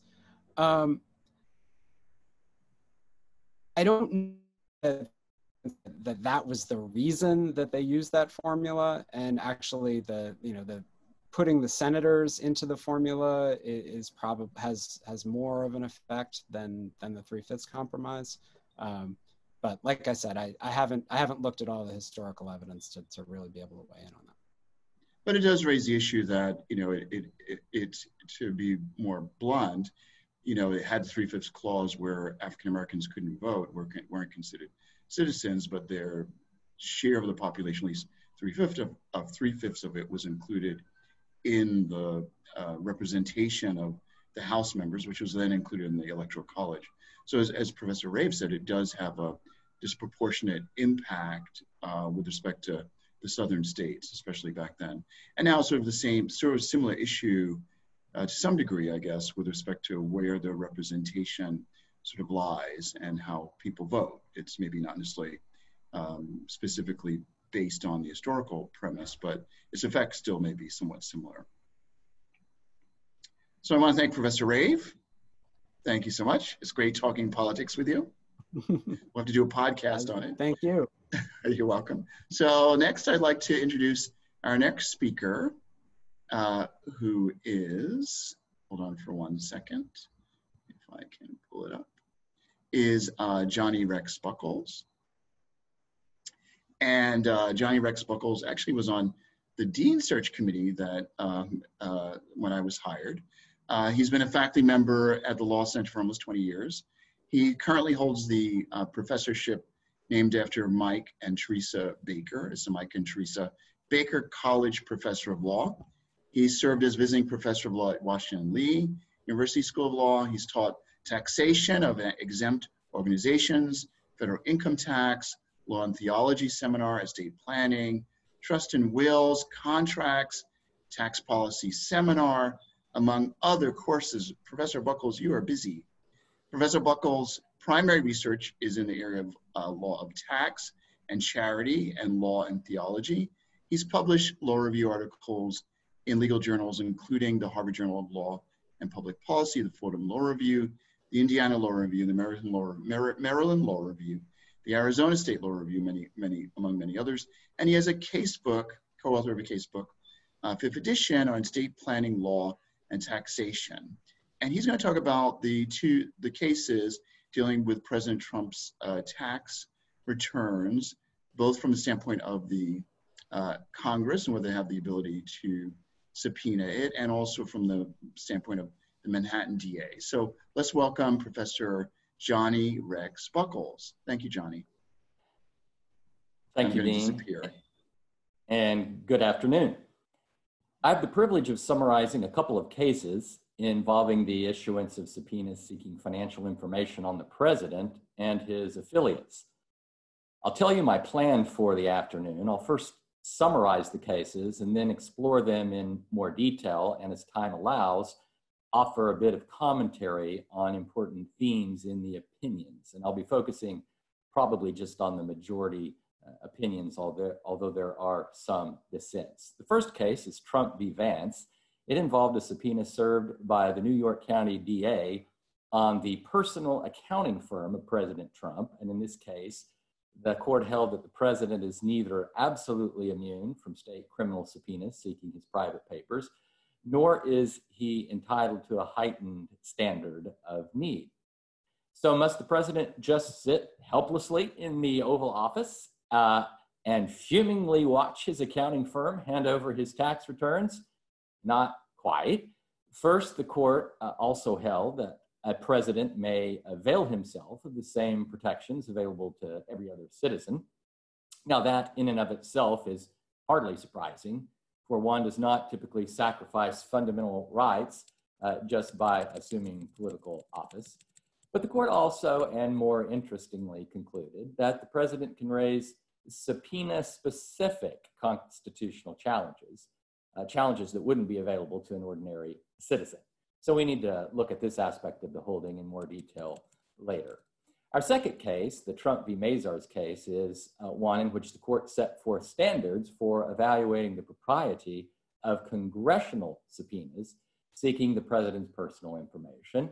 The subpoenas were issued by, count them, three committees of the U.S. House of Representatives. The Mazars opinion holds that in assessing whether a subpoena issued by a congressional committee and directed at the president's personal information is related to and in furtherance of a legitimate task of the Congress, saying that the courts must take into account the separation of powers principles at stake, including both the legislative interests of Congress, which are significant, and also the position of the president, which is unique, uh, by considering four factors at least. So I will refer to this holding as the four plus factor test. We don't know exactly what all might be in the plus, and I will unpack it for you in this presentation somewhat. In holding this way, the court rejected alternative tests proposed by the president and by the House of Representatives.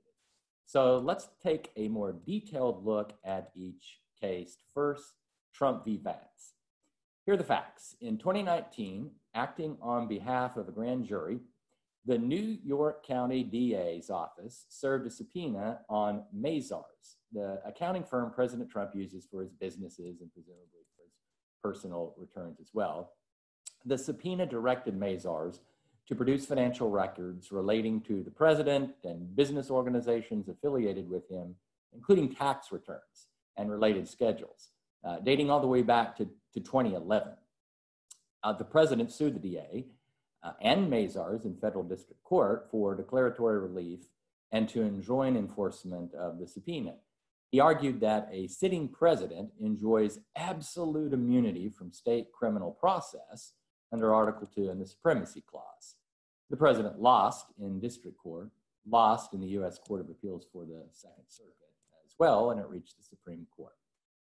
Now, I've already told you uh, the bottom line here, the bottom line being that uh, the court held the president is not absolutely immune from state criminal subpoenas for private documents, and also that a state prosecutor need not satisfy a heightened standard showing uh, of need for the documents.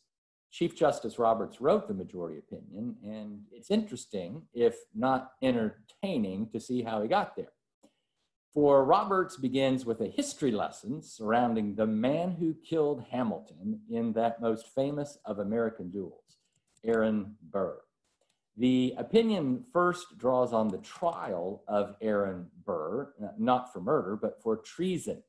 The trial was no ordinary one. And it's not just because it involved the charge of treason, but also because the illustrious Chief Justice John Marshall presided. He was acting as Circuit Justice for Virginia. And in the trial, Burr moved for a subpoena directed at President Jefferson for the production of a letter from Louisiana Territory Governor James Wilkinson. I know this sounds sort of like a, a soap opera uh, for the founding generation, doesn't it? Although the prosecution opposed this, Justice Marshall ruled that the president does not stand exempt from the general provisions of the Constitution, or specifically from the Sixth Amendment's guarantee that accused have compulsory process for obtaining witnesses for their defense. Marshall rejected the idea that the president's duties as chief magistrate demand his whole time for national objects, uh, as though the president just doesn't have the time to worry about responding to a subpoena. Marshall also rejected the prosecution's argument that the president was immune from a subpoena duces tecum because executive papers might contain state secrets. Uh, the rest of the story of the prosecution of Burr, uh, who was acquitted, adds not that much to the analysis. The bottom line is that Jefferson was willing to comply with the subpoena except as necessary to protect public safety. And in the opinion of Trump v. Vance, uh, the court recites how numerous presidents have accepted Marshall's ruling in responding to subpoenas. So, what did President Trump's team argue was sufficient to distinguish his situation from these others? Well, they involve federal criminal proceedings. And the Mazar subpoena was issued in a state proceeding. Team Trump argued that the Supremacy Clause gives a sitting president absolute immunity from state criminal subpoenas because compliance with those subpoenas would categorically impair a president's performance of his Article 2 functions. Now, the Solicitor General chimed in as well, uh, arguing something different, though. On behalf of the United States, the Solicitor General uh, argued that a state grand jury subpoena for a sitting president's personal records must at least satisfy a heightened standard of need. Uh, and then the Solicitor General contended that that was not satisfied. Now, the president's absolute immunity argument rested on three legs diversion, stigma, and harassment. And the court just rejected them all. Um, the court rejected the argument that complying with the state criminal subpoena would necessarily divert the chief executive from his duties. Uh, perhaps a bit tongue in cheek, the court observed that uh, it had already rejected immunity based on distraction in the Clinton case, uh, which involved civil liability. Um, and furthermore, the court said that a properly tailored criminal subpoena would not normally hamper the performance of the president's constitutional duties. remember that in, in this case, it, it wasn't even the president himself who was issued the subpoena. And the court noted that the Trump was seeking immunity not because of, of any distraction occasioned by the prospect of future criminal liability, uh, but just from complying with the subpoena. Uh, and that ran up against, as the court said, 200 years of, of precedent. Um, the court is fond in these cases of speaking in very long terms, centuries, uh, if not decades. As to stigma, the court opined that there's nothing necessarily stigmatizing about a president performing a citizen's normal duty of furnishing relevant information in, in a criminal investigation, uh, and also saw no stigma on other grounds, uh, also pointing to grand jury secrecy. And then, as to the argument that uh, subjecting presidents to subpoenas would render them targets for harassment, uh, the court again brought up the Clinton case and saying we basically rejected the, the notion there would be undue harassment there. And the court also said that the law protects against abuse in a number of ways, including typical safeguards surrounding grand jury uh, procedures, as well as under the supremacy clause that prohibits state judges and prosecutors from interfering with the president's official duties.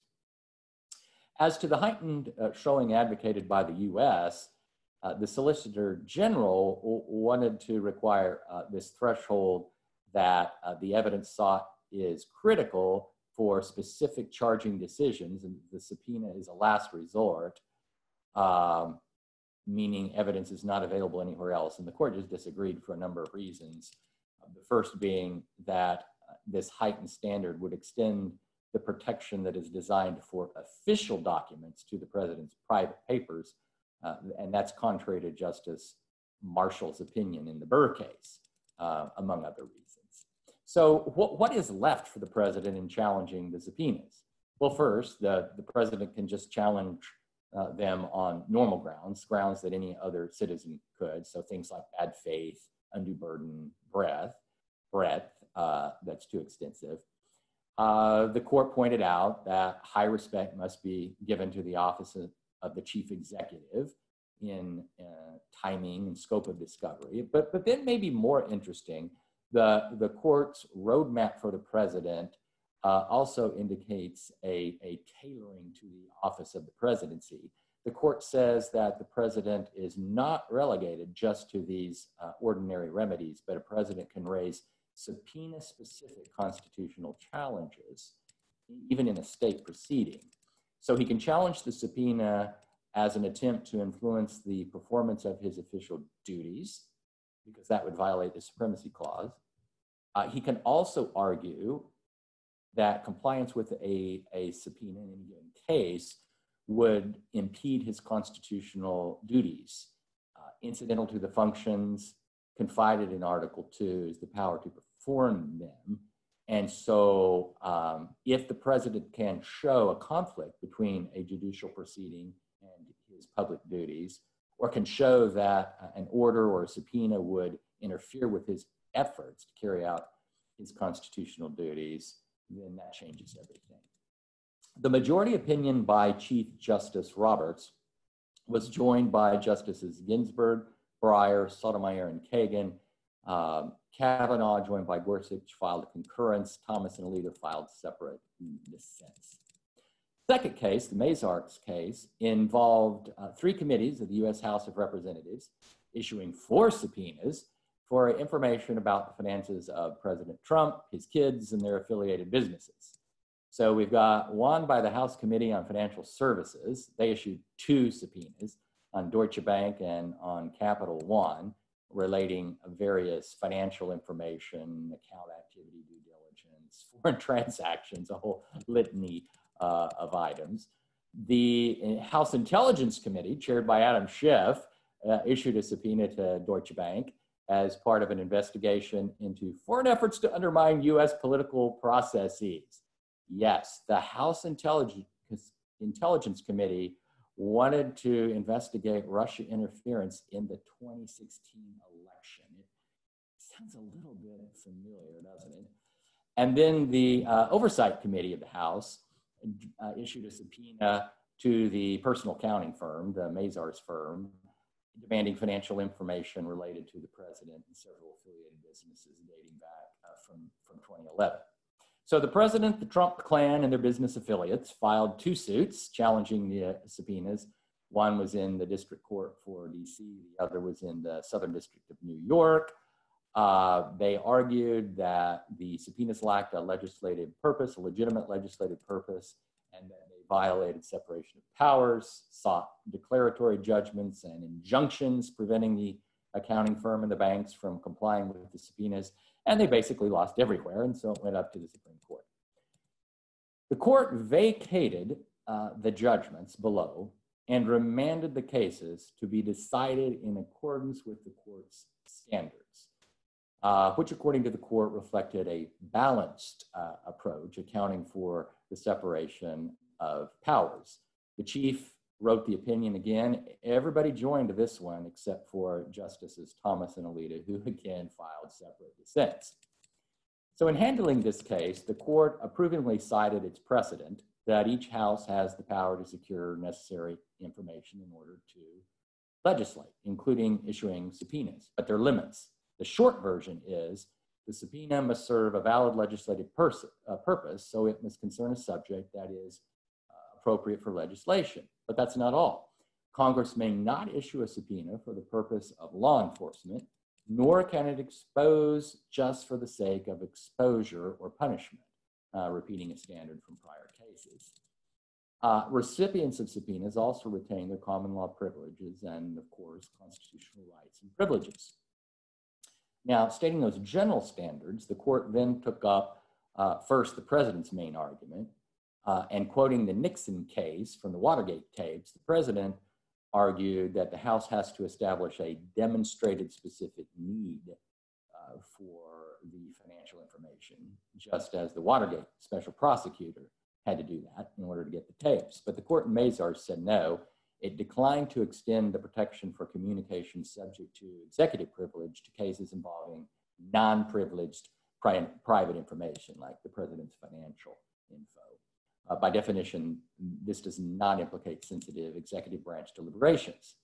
And to subject it to that standard, said the court, would impede Congress in carrying out its responsibilities, legitimate responsibilities, and would be a significant departure from longstanding political precedent. Uh, however, the court did not agree with the House either, relying on precedents concerning investigations that did not target the president's papers.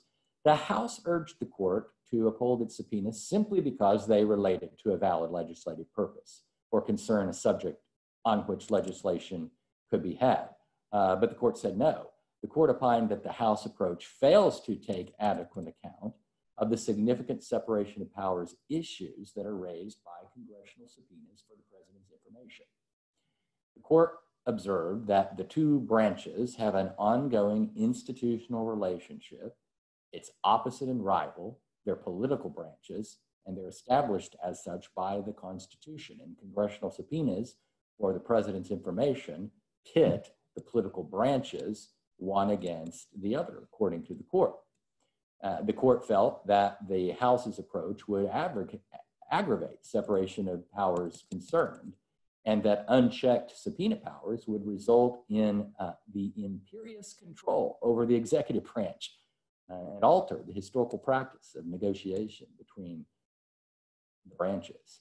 And so the court set forth what you know it sort of uh, you know self-congratulatorily framed as its balanced approach, uh, indicating that that all of these factors that it's setting forth had, had to be considered um, as part of uh, the separation of powers uh, principle in the Constitution.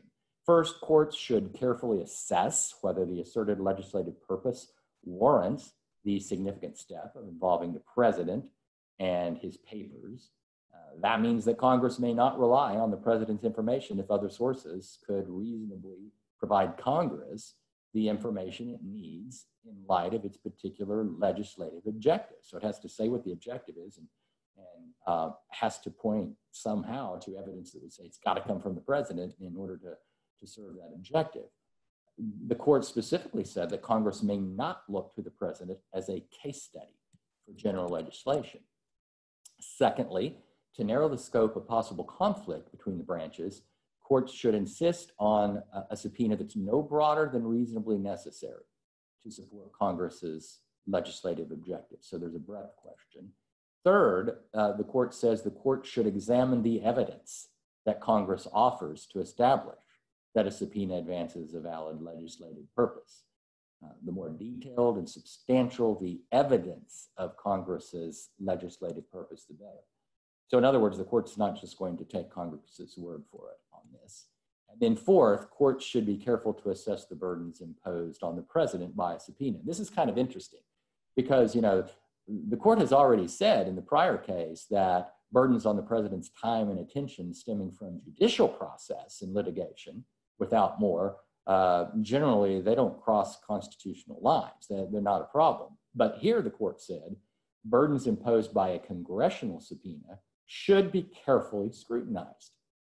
Why? They stem from a rival political branch that has an ongoing relationship with the president and incentives to use subpoenas for institutional advantage. Um, then the court said, in a kind of catch all safeguard, other considerations may also be relevant. Uh, and then the court justified its reservation of the possibility for other relevant consist- uh, considerations uh, by saying that one case every two centuries does not afford enough experience for an exhaustive list. So this is the plus in the four plus factor test. Um, and as, as mentioned before, uh, the chief wrote this one and was joined by everybody but two, Thomas and Alito. Now, in the time that remains before uh, a bit of time for questions, I do want to uh, point out some important themes and other observations that I think uh, appear in, in these two cases. The first theme that's important is the court's reliance on tradition and political precedent. In Vance, the court showed how American political history witnessed presidential compliance with subpoenas served in criminal investigations. Uh, it, it, traced it from Jefferson through Clinton and remarked that presidents have uniformly testified or produced documents in criminal proceedings. It, it mentioned that in two centuries, uh, you know, it loves talking about the court, the opinions seem to reflect a love for, for talking about vast expanses of time. And, and Vance says in the two centuries since the Burr trial, successive presidents have accepted Marshall's ruling. Uh, and, and then the court points to a number of presidents uh, Monroe, Grant, Ford, Carter, Clinton.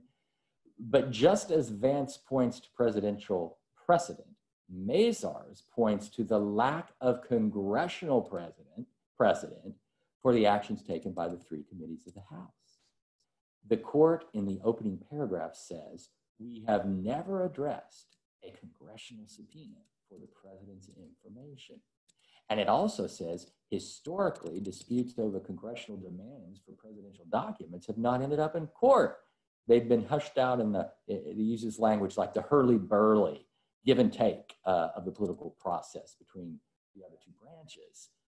Um, and then the court recounted examples of, of over time, the president and the Congress working things out uh, and pointing out that this case was a significant departure from historical practice. Uh, the practice that has, again, been managed for over two centuries, the court pointed out.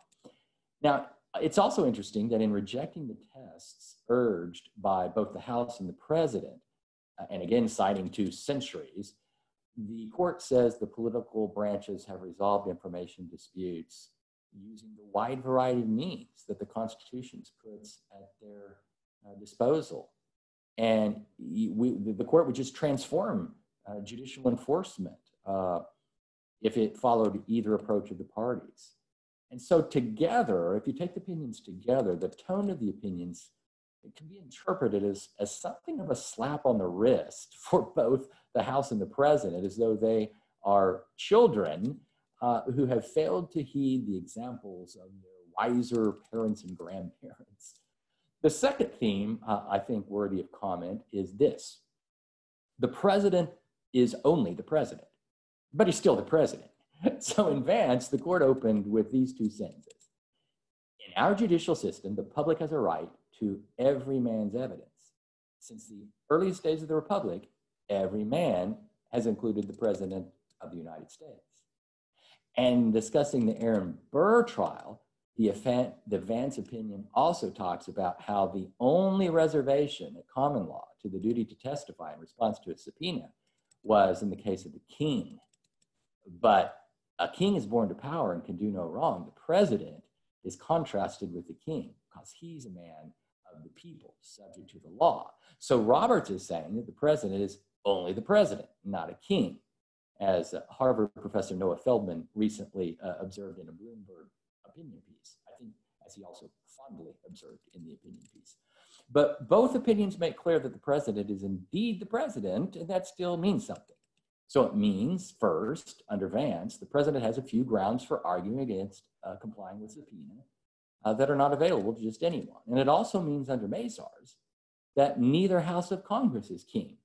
Recall that in rejecting the House's test for the propriety of its committee subpoenas, the court remarked that unchecked subpoena powers would result in imperious control over the executive branch. Imperious control is an interesting choice of words. I would say that when you read these opinions, you get the impression that the court wanted everyone to know that neither Capitol Hill nor the Oval Office contains a throne. And then the final theme uh, that I see in these opinions, uh, it's, it's also something of a dual theme. The court is not political, but neither is it naive. Uh, so, in distinguishing the Mazars case from those that came before, the court placed the case in this context at the beginning of the opinion. It said this here, the president's information is sought not by prosecutors or private parties in connection, in connection with a particular judicial proceeding, but by committees of Congress that have set forth broad legislative objectives, Congress and the president, the two political branches established by the Constitution, have an ongoing relationship that the framers intended to feature both rivalry and reciprocity. And it cites the Federalist Papers, one authored by Madison in that regard, as well as a concurring opinion in uh, a Supreme Court case, the Youngstown case. But what I want you to observe is how Roberts characterizes Congress and the president. They are the two political branches and the clear implication is that the judiciary is not one of those political branches. And Roberts also notices uh, the, the rivalry and the reciprocity between those two political branches, the executive uh, and the Congress.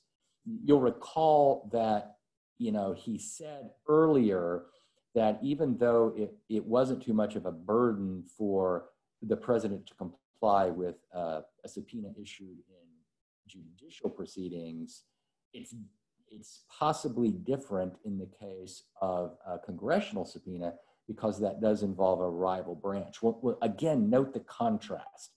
Um, where there's a rival branch concerned, uh, the burden needs to be looked at closely. Where it's a judicial proceeding, uh, we're not worried about the general burden on the president. So the plain implication is the court doesn't view the judiciary, judiciary in any way as a rival branch, right? So, so what you're seeing is the court talking about how uh, either directly or implicitly how the judiciary stands above the political fray. The judiciary is not part of, of the rival politics. Now, of course, in a fair competition before a rival, uh, between rivals, there is some benefit to having a neutral referee when those rivals spar. And the opinion reads rather like the court sees itself as a neutral referee, albeit one that is reluctant to assume even that role because it wants to stay out of it. But the court also asserts its political consciousness in Mazars. And that's, that's kind of interesting too. The court says this we would have to be blind not to see what all others can see and understand. That the subpoenas do not represent a run of the mill legislative effort, but rather a clash between rival branches of government over records of intense political interest for all involved. Now, that's interesting. Uh, this may be about as clear as it gets for the court in acknowledging its institutional awareness of the intense politics surrounding a controversy, surrounding this controversy uh, in particular, that's before the court. And, and when the court expresses that it's not going to be naive uh, about this, perhaps there is a hint of warning in its words. Uh, so, what am I thinking? A, a warning that in an interbranch dispute like this one, the court albeit reluctantly, does stand ready to strike down actions that have no real legal justification when pure partisanship uh, could be the explanation for, is the best explanation for those actions. Now, certainly the opinion doesn't go so far as to say that's what the court thinks is going on here, pure partisanship. It's more uh, of a hint that it's watching. And it's the branch that's above the political fray it's going to referee this to make sure that uh, neither branch has an unfair uh, upper hand in this matter. That's, that's the sense that I take from uh, the language in the Mazars case. Now, I'll tell you what I'll do now. I will open up our time for some questions, but because uh, on our agenda, Professor Berman has uh, only 15 minutes or so, uh, if we don't have uh, a lot of questions, that's actually fine. I'm sure she could benefit from an extra five minutes or so. So uh, I'll turn it over to the dean and see where it goes. I'll ask you a question. That was great. Okay. Great recitation of the cases. Very, very interesting. So do you think there would be, so I, I, I appreciate what you're saying that, you know, the rival branches and the concern over the political aspects of it. So two questions, I guess. One, do you think that it would have been different if it was an Im- impeachment proceeding, number one? And number two, you know, that it came in the context of the House subpoenaing his records in the context of an impeachment proceeding. And the second question is do you, do you think this applies to things like the oversight? Because there, there have been some complaints and concerns by members of Congress and by the president. I mean, for instance, he wouldn't let Dr. Fauci testify before the House only for the Senate because he said the House was too political. Do you think it would apply, this rationale of this valid purpose, whatever, would apply for other kinds of things where Congress is attempting to do its oversight function? Mm-hmm. Okay, so on the on the first question, uh, where what would happen if this was done pursuant to in impeachment proceedings? Um, that's a great question, Dean. Interestingly, in, in one of his dissents, in the dissent in Mazars, uh, Justice Thomas actually took the view that all of this, all of this should have been done pursuant to an impeachment proceeding if you're going to do it at all. Okay. Mhm. Now, do I think then that uh, seeking the information in the context of an impeachment proceeding would be any better? What I'm going to suggest is it it actually might be a little bit better because at least at least if Justice Thomas thinks that if there is a forum for it, it's the impeachment forum. Okay, Mhm. um, that you you might get justices more uh, that are that are a little bit more open to what's going on. Um, see, in the case of of the current context, it's it's got to be the subpoenas have to be tied to a legislative agenda of some Yeah. sort. Um, and the focus of an impeachment proceeding is is different, right? So, a- at a minimum, the kind of showing that would be required is different and is conceivably easier to meet. I mean, let, let, us face it. Um, to, to explain exactly why you need Trump's tax returns um, in, in order to legislate on certain tax reform measures, let's say, uh, is going to be difficult. Of- Now, other ones might not be difficult.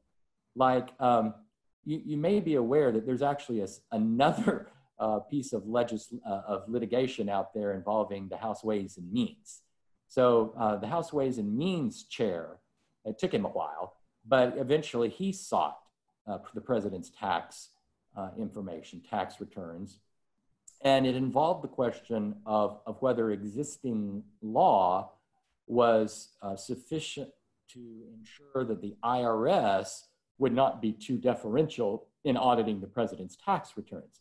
Well, now you can see that's pretty relevant. You can make a Mhm. pretty good case, right? That that's a legitimate legislative uh, interest.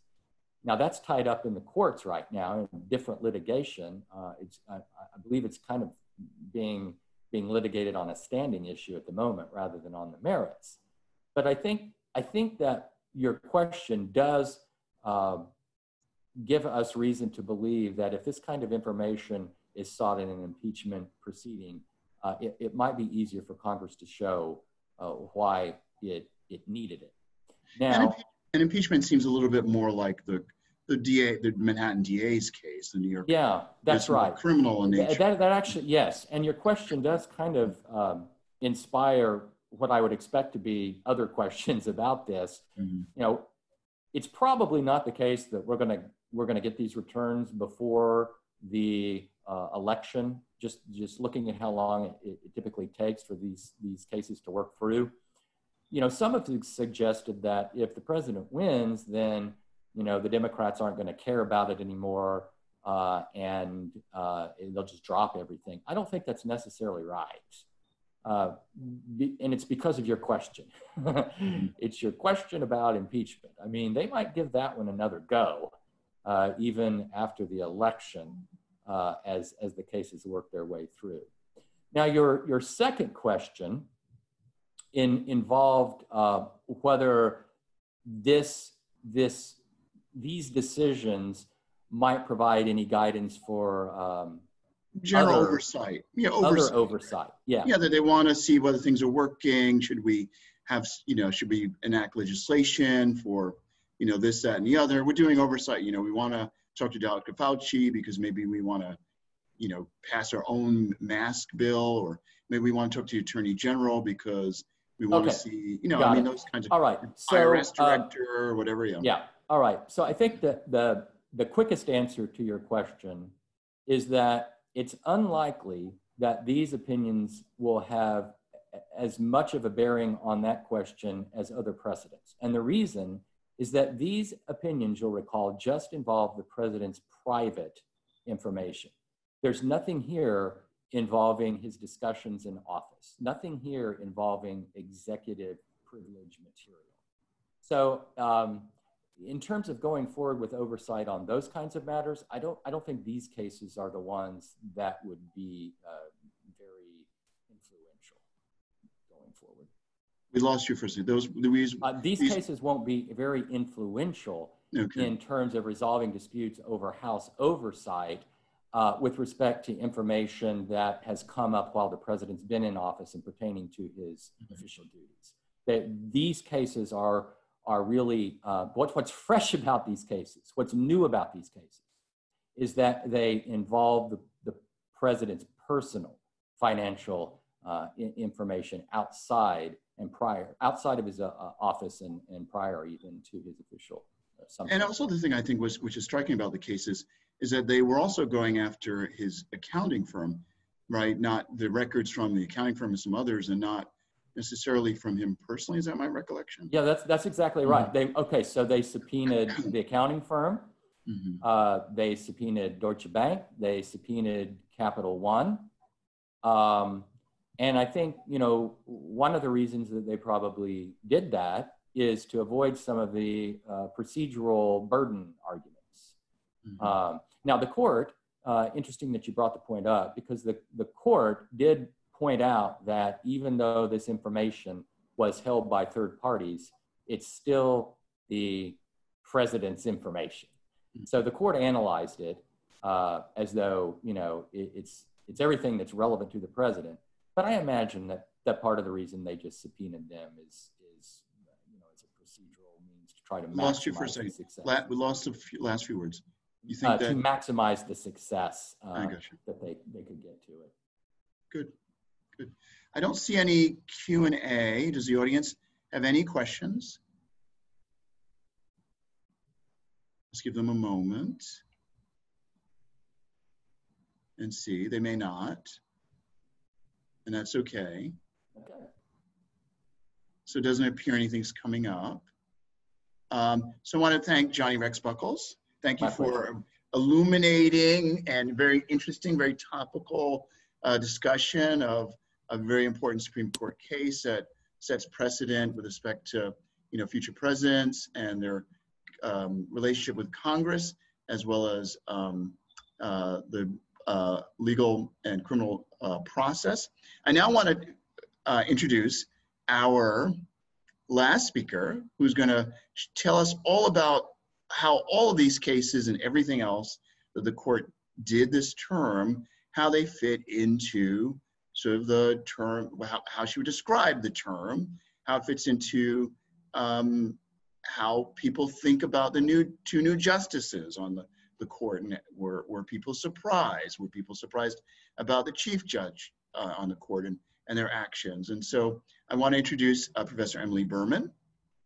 She's an associate professor of law. Her scholarship, she teaches con law, and her scholarship examines the unique separation of powers challenges that arise in constitutional, statutory, and regulatory regimes governing, governing national security policy. She focuses in particular on ways to impose traditional conceptions of government oversight, such as checks and balances and democratic accountability on law enforcement and intelligence operations, where such oversight is frequently absent. Prior to joining University of Houston Law Center, in the fall of 2014. We actually started at the same time. Uh, she taught for two years as a visiting assistant professor at Brooklyn Law School. And she previously was a Furman Fellow and Brennan Center Fellow at the NYU Law School in New York. And held a position at, as counselor the Katz Fellow, as a Katz Fellow at the Brennan Center, where she developed policy recommendations, drafted reports, and engaged in advocacy regarding US national security policy and its impact on civil liberties. Uh, she's been published in leading law reviews multiple times, law reviews such as the Minnesota Law Review, the Fordham Law Review, the Indiana Law Review, the NYU Law Review, and her commentary and opinion pieces have been found in many, many uh, popular publications, such as the National Law Journal, Atlantic Online, Legal Times Online, CNN.com. And she teaches con law, as I mentioned, foreign affairs law, and national security law. Let's welcome Professor Emily Berman. Thank you. And I will disappear. Emily, are you there? You're, I am here. Hello. You don't see your video yet. I'm working on it. I'm working on it. Okay. okay. Here, here I am. I will, I will, disappear and come okay. back. Bye-bye. Um, so thank you very much, Dean Baynes, for your kind um, introduction and welcome. Uh, thanks to, to all of you for uh, sticking around to, to the bitter end. I know they're they're holding uh, um, the code you need to get your CLE credits until after I'm done. So um, I know I'm standing between you uh, and those um, and those credits. Um, I'm going to share my screen and um, I have a few PowerPoints as part of my discussion here. Um, so hopefully um, that has now popped up on folks' um, screen. So somebody maybe tell me in the in the chat or the questions if uh, if that's not showing up. Uh, but in general, um, my plan today is to, to step back, as Dean Baynes said, and make a few big picture, big picture observations um, about this past term. And, and the, they fall in sort of three different categories. Um, sort of general landmarks and statistics from the term.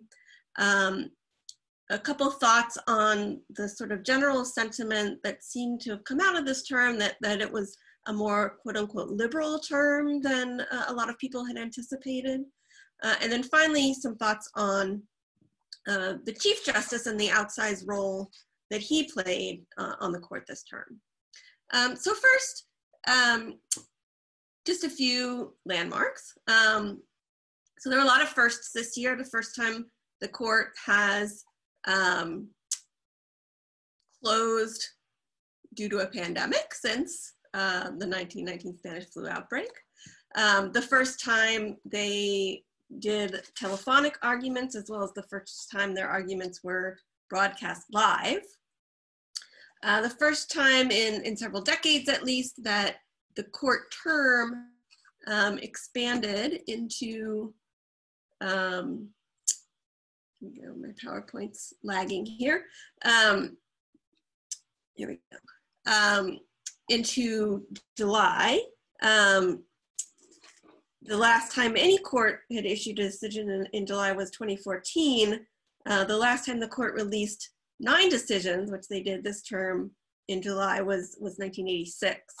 It was also the fewest signed opinions in um, many, many years. um, this is the lowest number since uh, the 1862 term during the Civil War, where the court issued 41 uh, signed opinions. And the prior to that, you have to go back to 1849 to find another term with fewer than 53 signed decisions. So um, one of the interesting um, things people like to talk about is uh, are the 5-4 decisions. Um, and in fact, there are a substantial number of them. We see almost a quarter of the cases were 5-4, but I think people often forget that a substantial number of the court's decisions also uh, are unanimous. So over a third of the cases uh, had no dissenting justices. When it does come to the 5-4 decisions, um, we had um, three separate lineups. Um, one that recurred um, 10 times, that was the, mo- the, the five sort of conservative justices together, that was the most common 5-4 uh, majority. And then we had a couple other sort of what folks might call um, unusual bedfellows in, in four cases. Um, one of the most striking statistics from the term is that the chief was in the majority 97% of the time. He only dissented uh, in two cases. Um, this is something that Justice Kennedy did when he was the swing justice uh, three times. Um, and before him, Justice Brennan also did this in um, 1968. The last chief to do so was Chief Fred Vinson uh, in 1949. Um, Justice Kavanaugh was a, a, close second there with um, a majority vote in 93% of the cases. Now, um, sort of more qualitatively, um, going into this term, um, it was hailed as a blockbuster, as it was. It, it, it had um, a large number of big ticket cases on hot button issues. Um, and it was poised to turn out to be actually quite a conservative term. We had um, you know, the DACA case and abortion and um, LGBTQ rights and gun restrictions and, and all of those um, areas where folks thought that perhaps um, this five conservative member court was, was going to push the law significantly to the, to the, to the right. Um, in some respects, that did not um, pan out. We, as we heard earlier today, the, the DACA decision, the, um, the LGBTQ rights case um, came out in what would someone call the more liberal side. Um, the Louisiana restrictions on abortion law was found unconstitutional.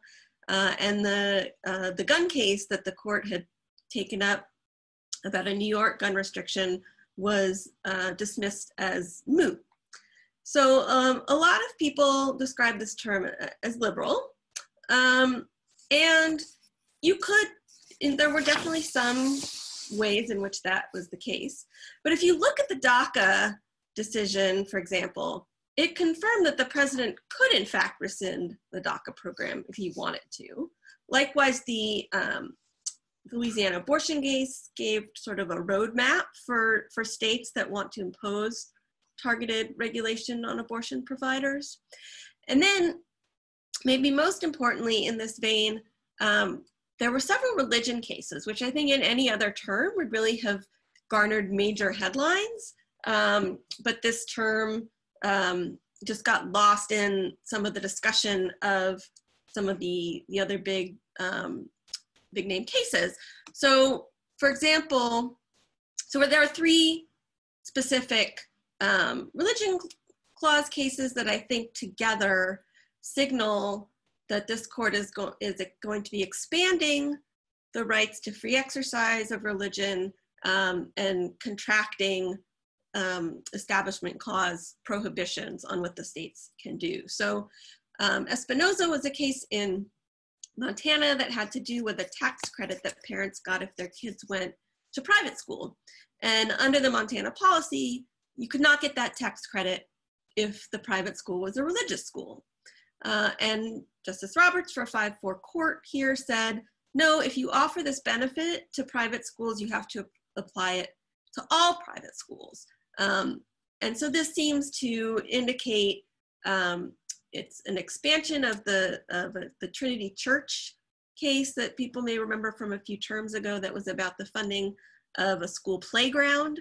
Um, so it's expanding this idea of um, not excluding from public benefits institutions simply because they are religious institutions. Um, Our Lady of Guadalupe was uh, two employment discrimination suits brought by teachers who were fired from a Catholic school. And again, um, the sort of more um, accommodating of religion position won out, where the court said that, that the ministerial exception, which was an existing exception to employment discrimination laws that said um, if you're if you're a church or um, a faith community, you can decide who you want to hire as your ministers without being subject to um, anti-discrimination laws. And here the courts had some role in teaching religion and therefore they qualify for this quote unquote ministerial um, exception.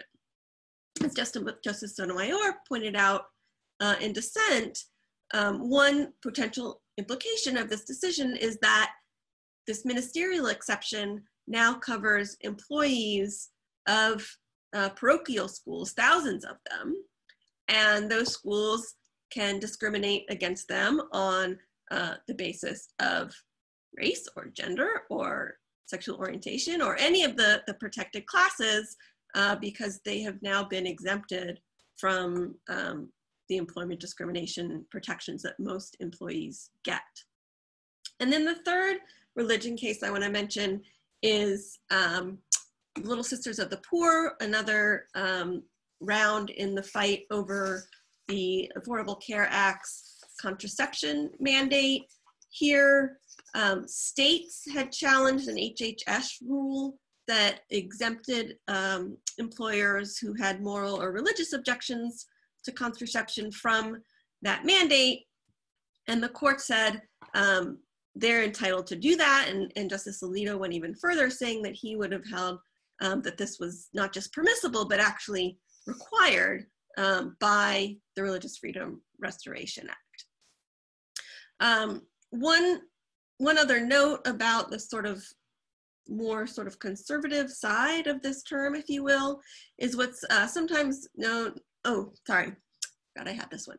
So with looking ahead to the to these religion cases, um, it's clear that that we have a solid majority for um, a, a, broad interpretation of the free exercise clause, um, and there's actually a case in the coming term that's going to question whether employment dis dis division versus Smith, which is the current rule about free exercise of religion that says rules of general application are not unconstitutional simply because they impose uh, an incidental burden on, uh, on religion. And then finally, I just wanted to mention what's often called the shadow docket. So these are non-merits cases like emergency applications, thing that, things that, the come, that come to the court outside the context of have, court having granted certiorari. And in all of those cases, there were um, significant wins for what would be considered the more conservative uh, position. So when it came to um, voting rights, when it came to death penalty, um, when it came to injunctions regarding um, controversial Trump administration policies like the border wall construction and asylum policies, all of those went to on the more sort of conservative side of things. So, um, so I think one so I think the, the, the, fact that this court is often is is being described as um, more liberal than expected is, is certainly true in some cases, but I think across the board, the conservatives had a much more successful term um, than than they um, are given credit for, sort of um, in the immediate wake of uh, of the term ending. And then just the last point I'll make um, really quickly is that this was the year that this became the Roberts court. As I said, he was in the majority in 97% of the cases. He was the deciding vote in many cases. And for many of the big cases, um, took the opinions to, on himself and so was able to shape the way the law is going to move. Uh, and so I think he's very clearly set himself up at the, at the ideological center of the court. And he's the justice that litigants are going to be writing to um, to look for that crucial fifth vote going forward. So um, I'm two minutes over time, so I'm going to stop there. I'm happy to stick around if people um, have questions uh, that they would like to ask.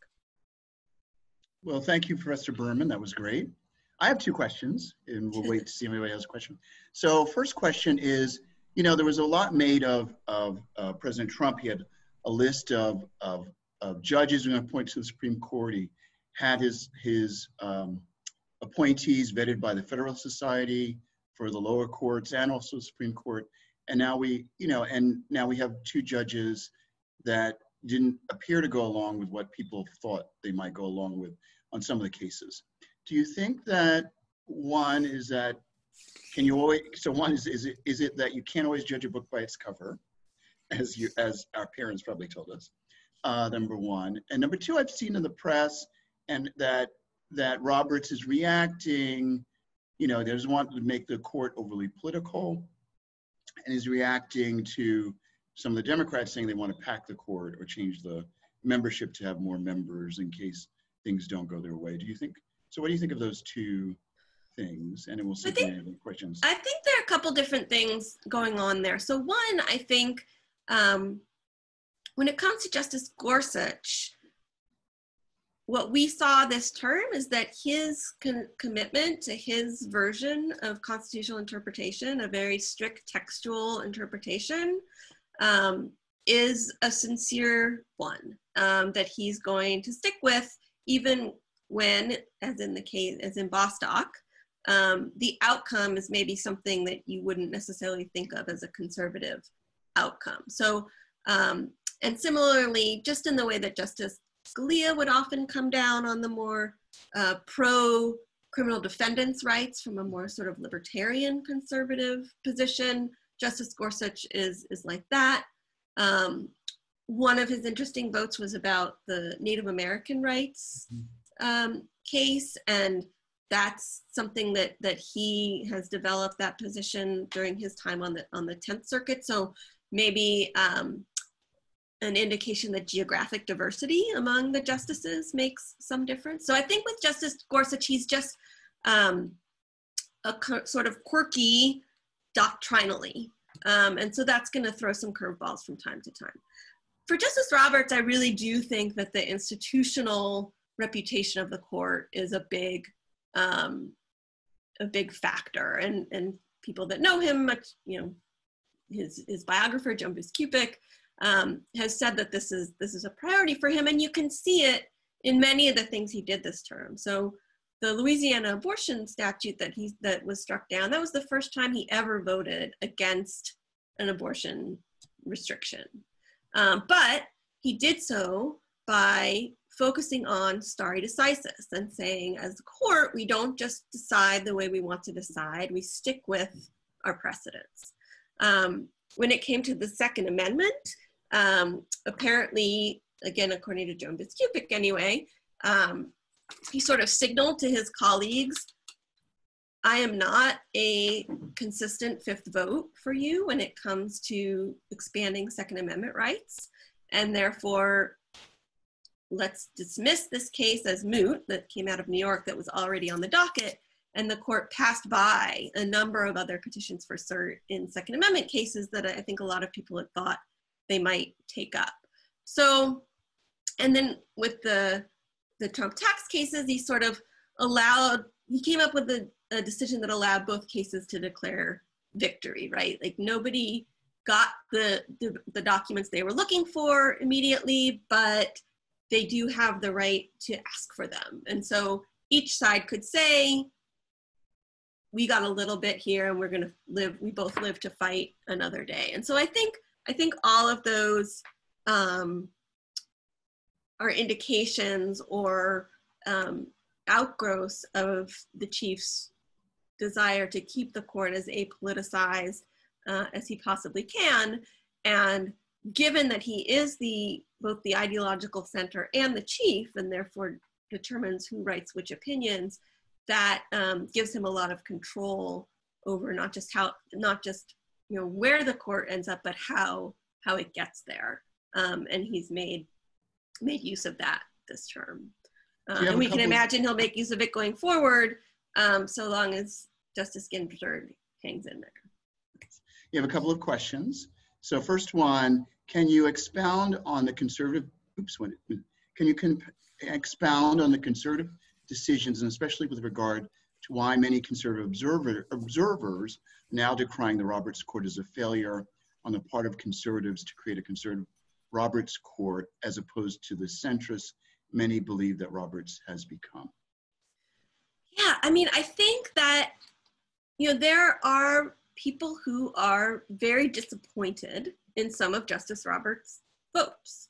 Uh, I think the DACA case, I think the Bostock case um, in particular, um, I think a lot of conservatives said, okay, we have five appointees, now we get to win, right? Um, and didn't take into account that, in fact, the Supreme Court, while a political institution, is not as much of a partisan institution as the other branches of government are. Um, and so, who appoints you? Um, cat's tail in the way there. Um, who appoints you to the court is not necessarily going to dictate the outcome. And so, I think the people who are making those arguments are really disappointed at specific outcomes. But I think if you look at Justice Roberts' decisions, you know, yes, he came out um, against rescission of DACA, but he didn't say that the federal government couldn't rescind DACA, just said it hadn't done it correctly. Um, similarly, with the abortion law, he, he said this falls because of stare decisis, but if states want to restrict abortions in certain ways. Here are all kinds of ways that are not precluded by stare decisis that they might be able to do that.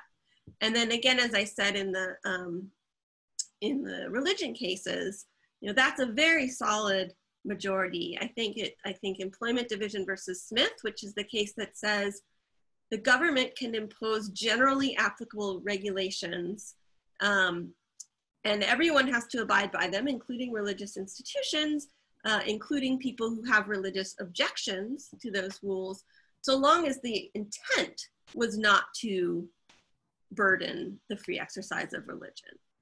Um, and I, I think those days may be numbered for, uh, for that case, and that and that the court might revert back to.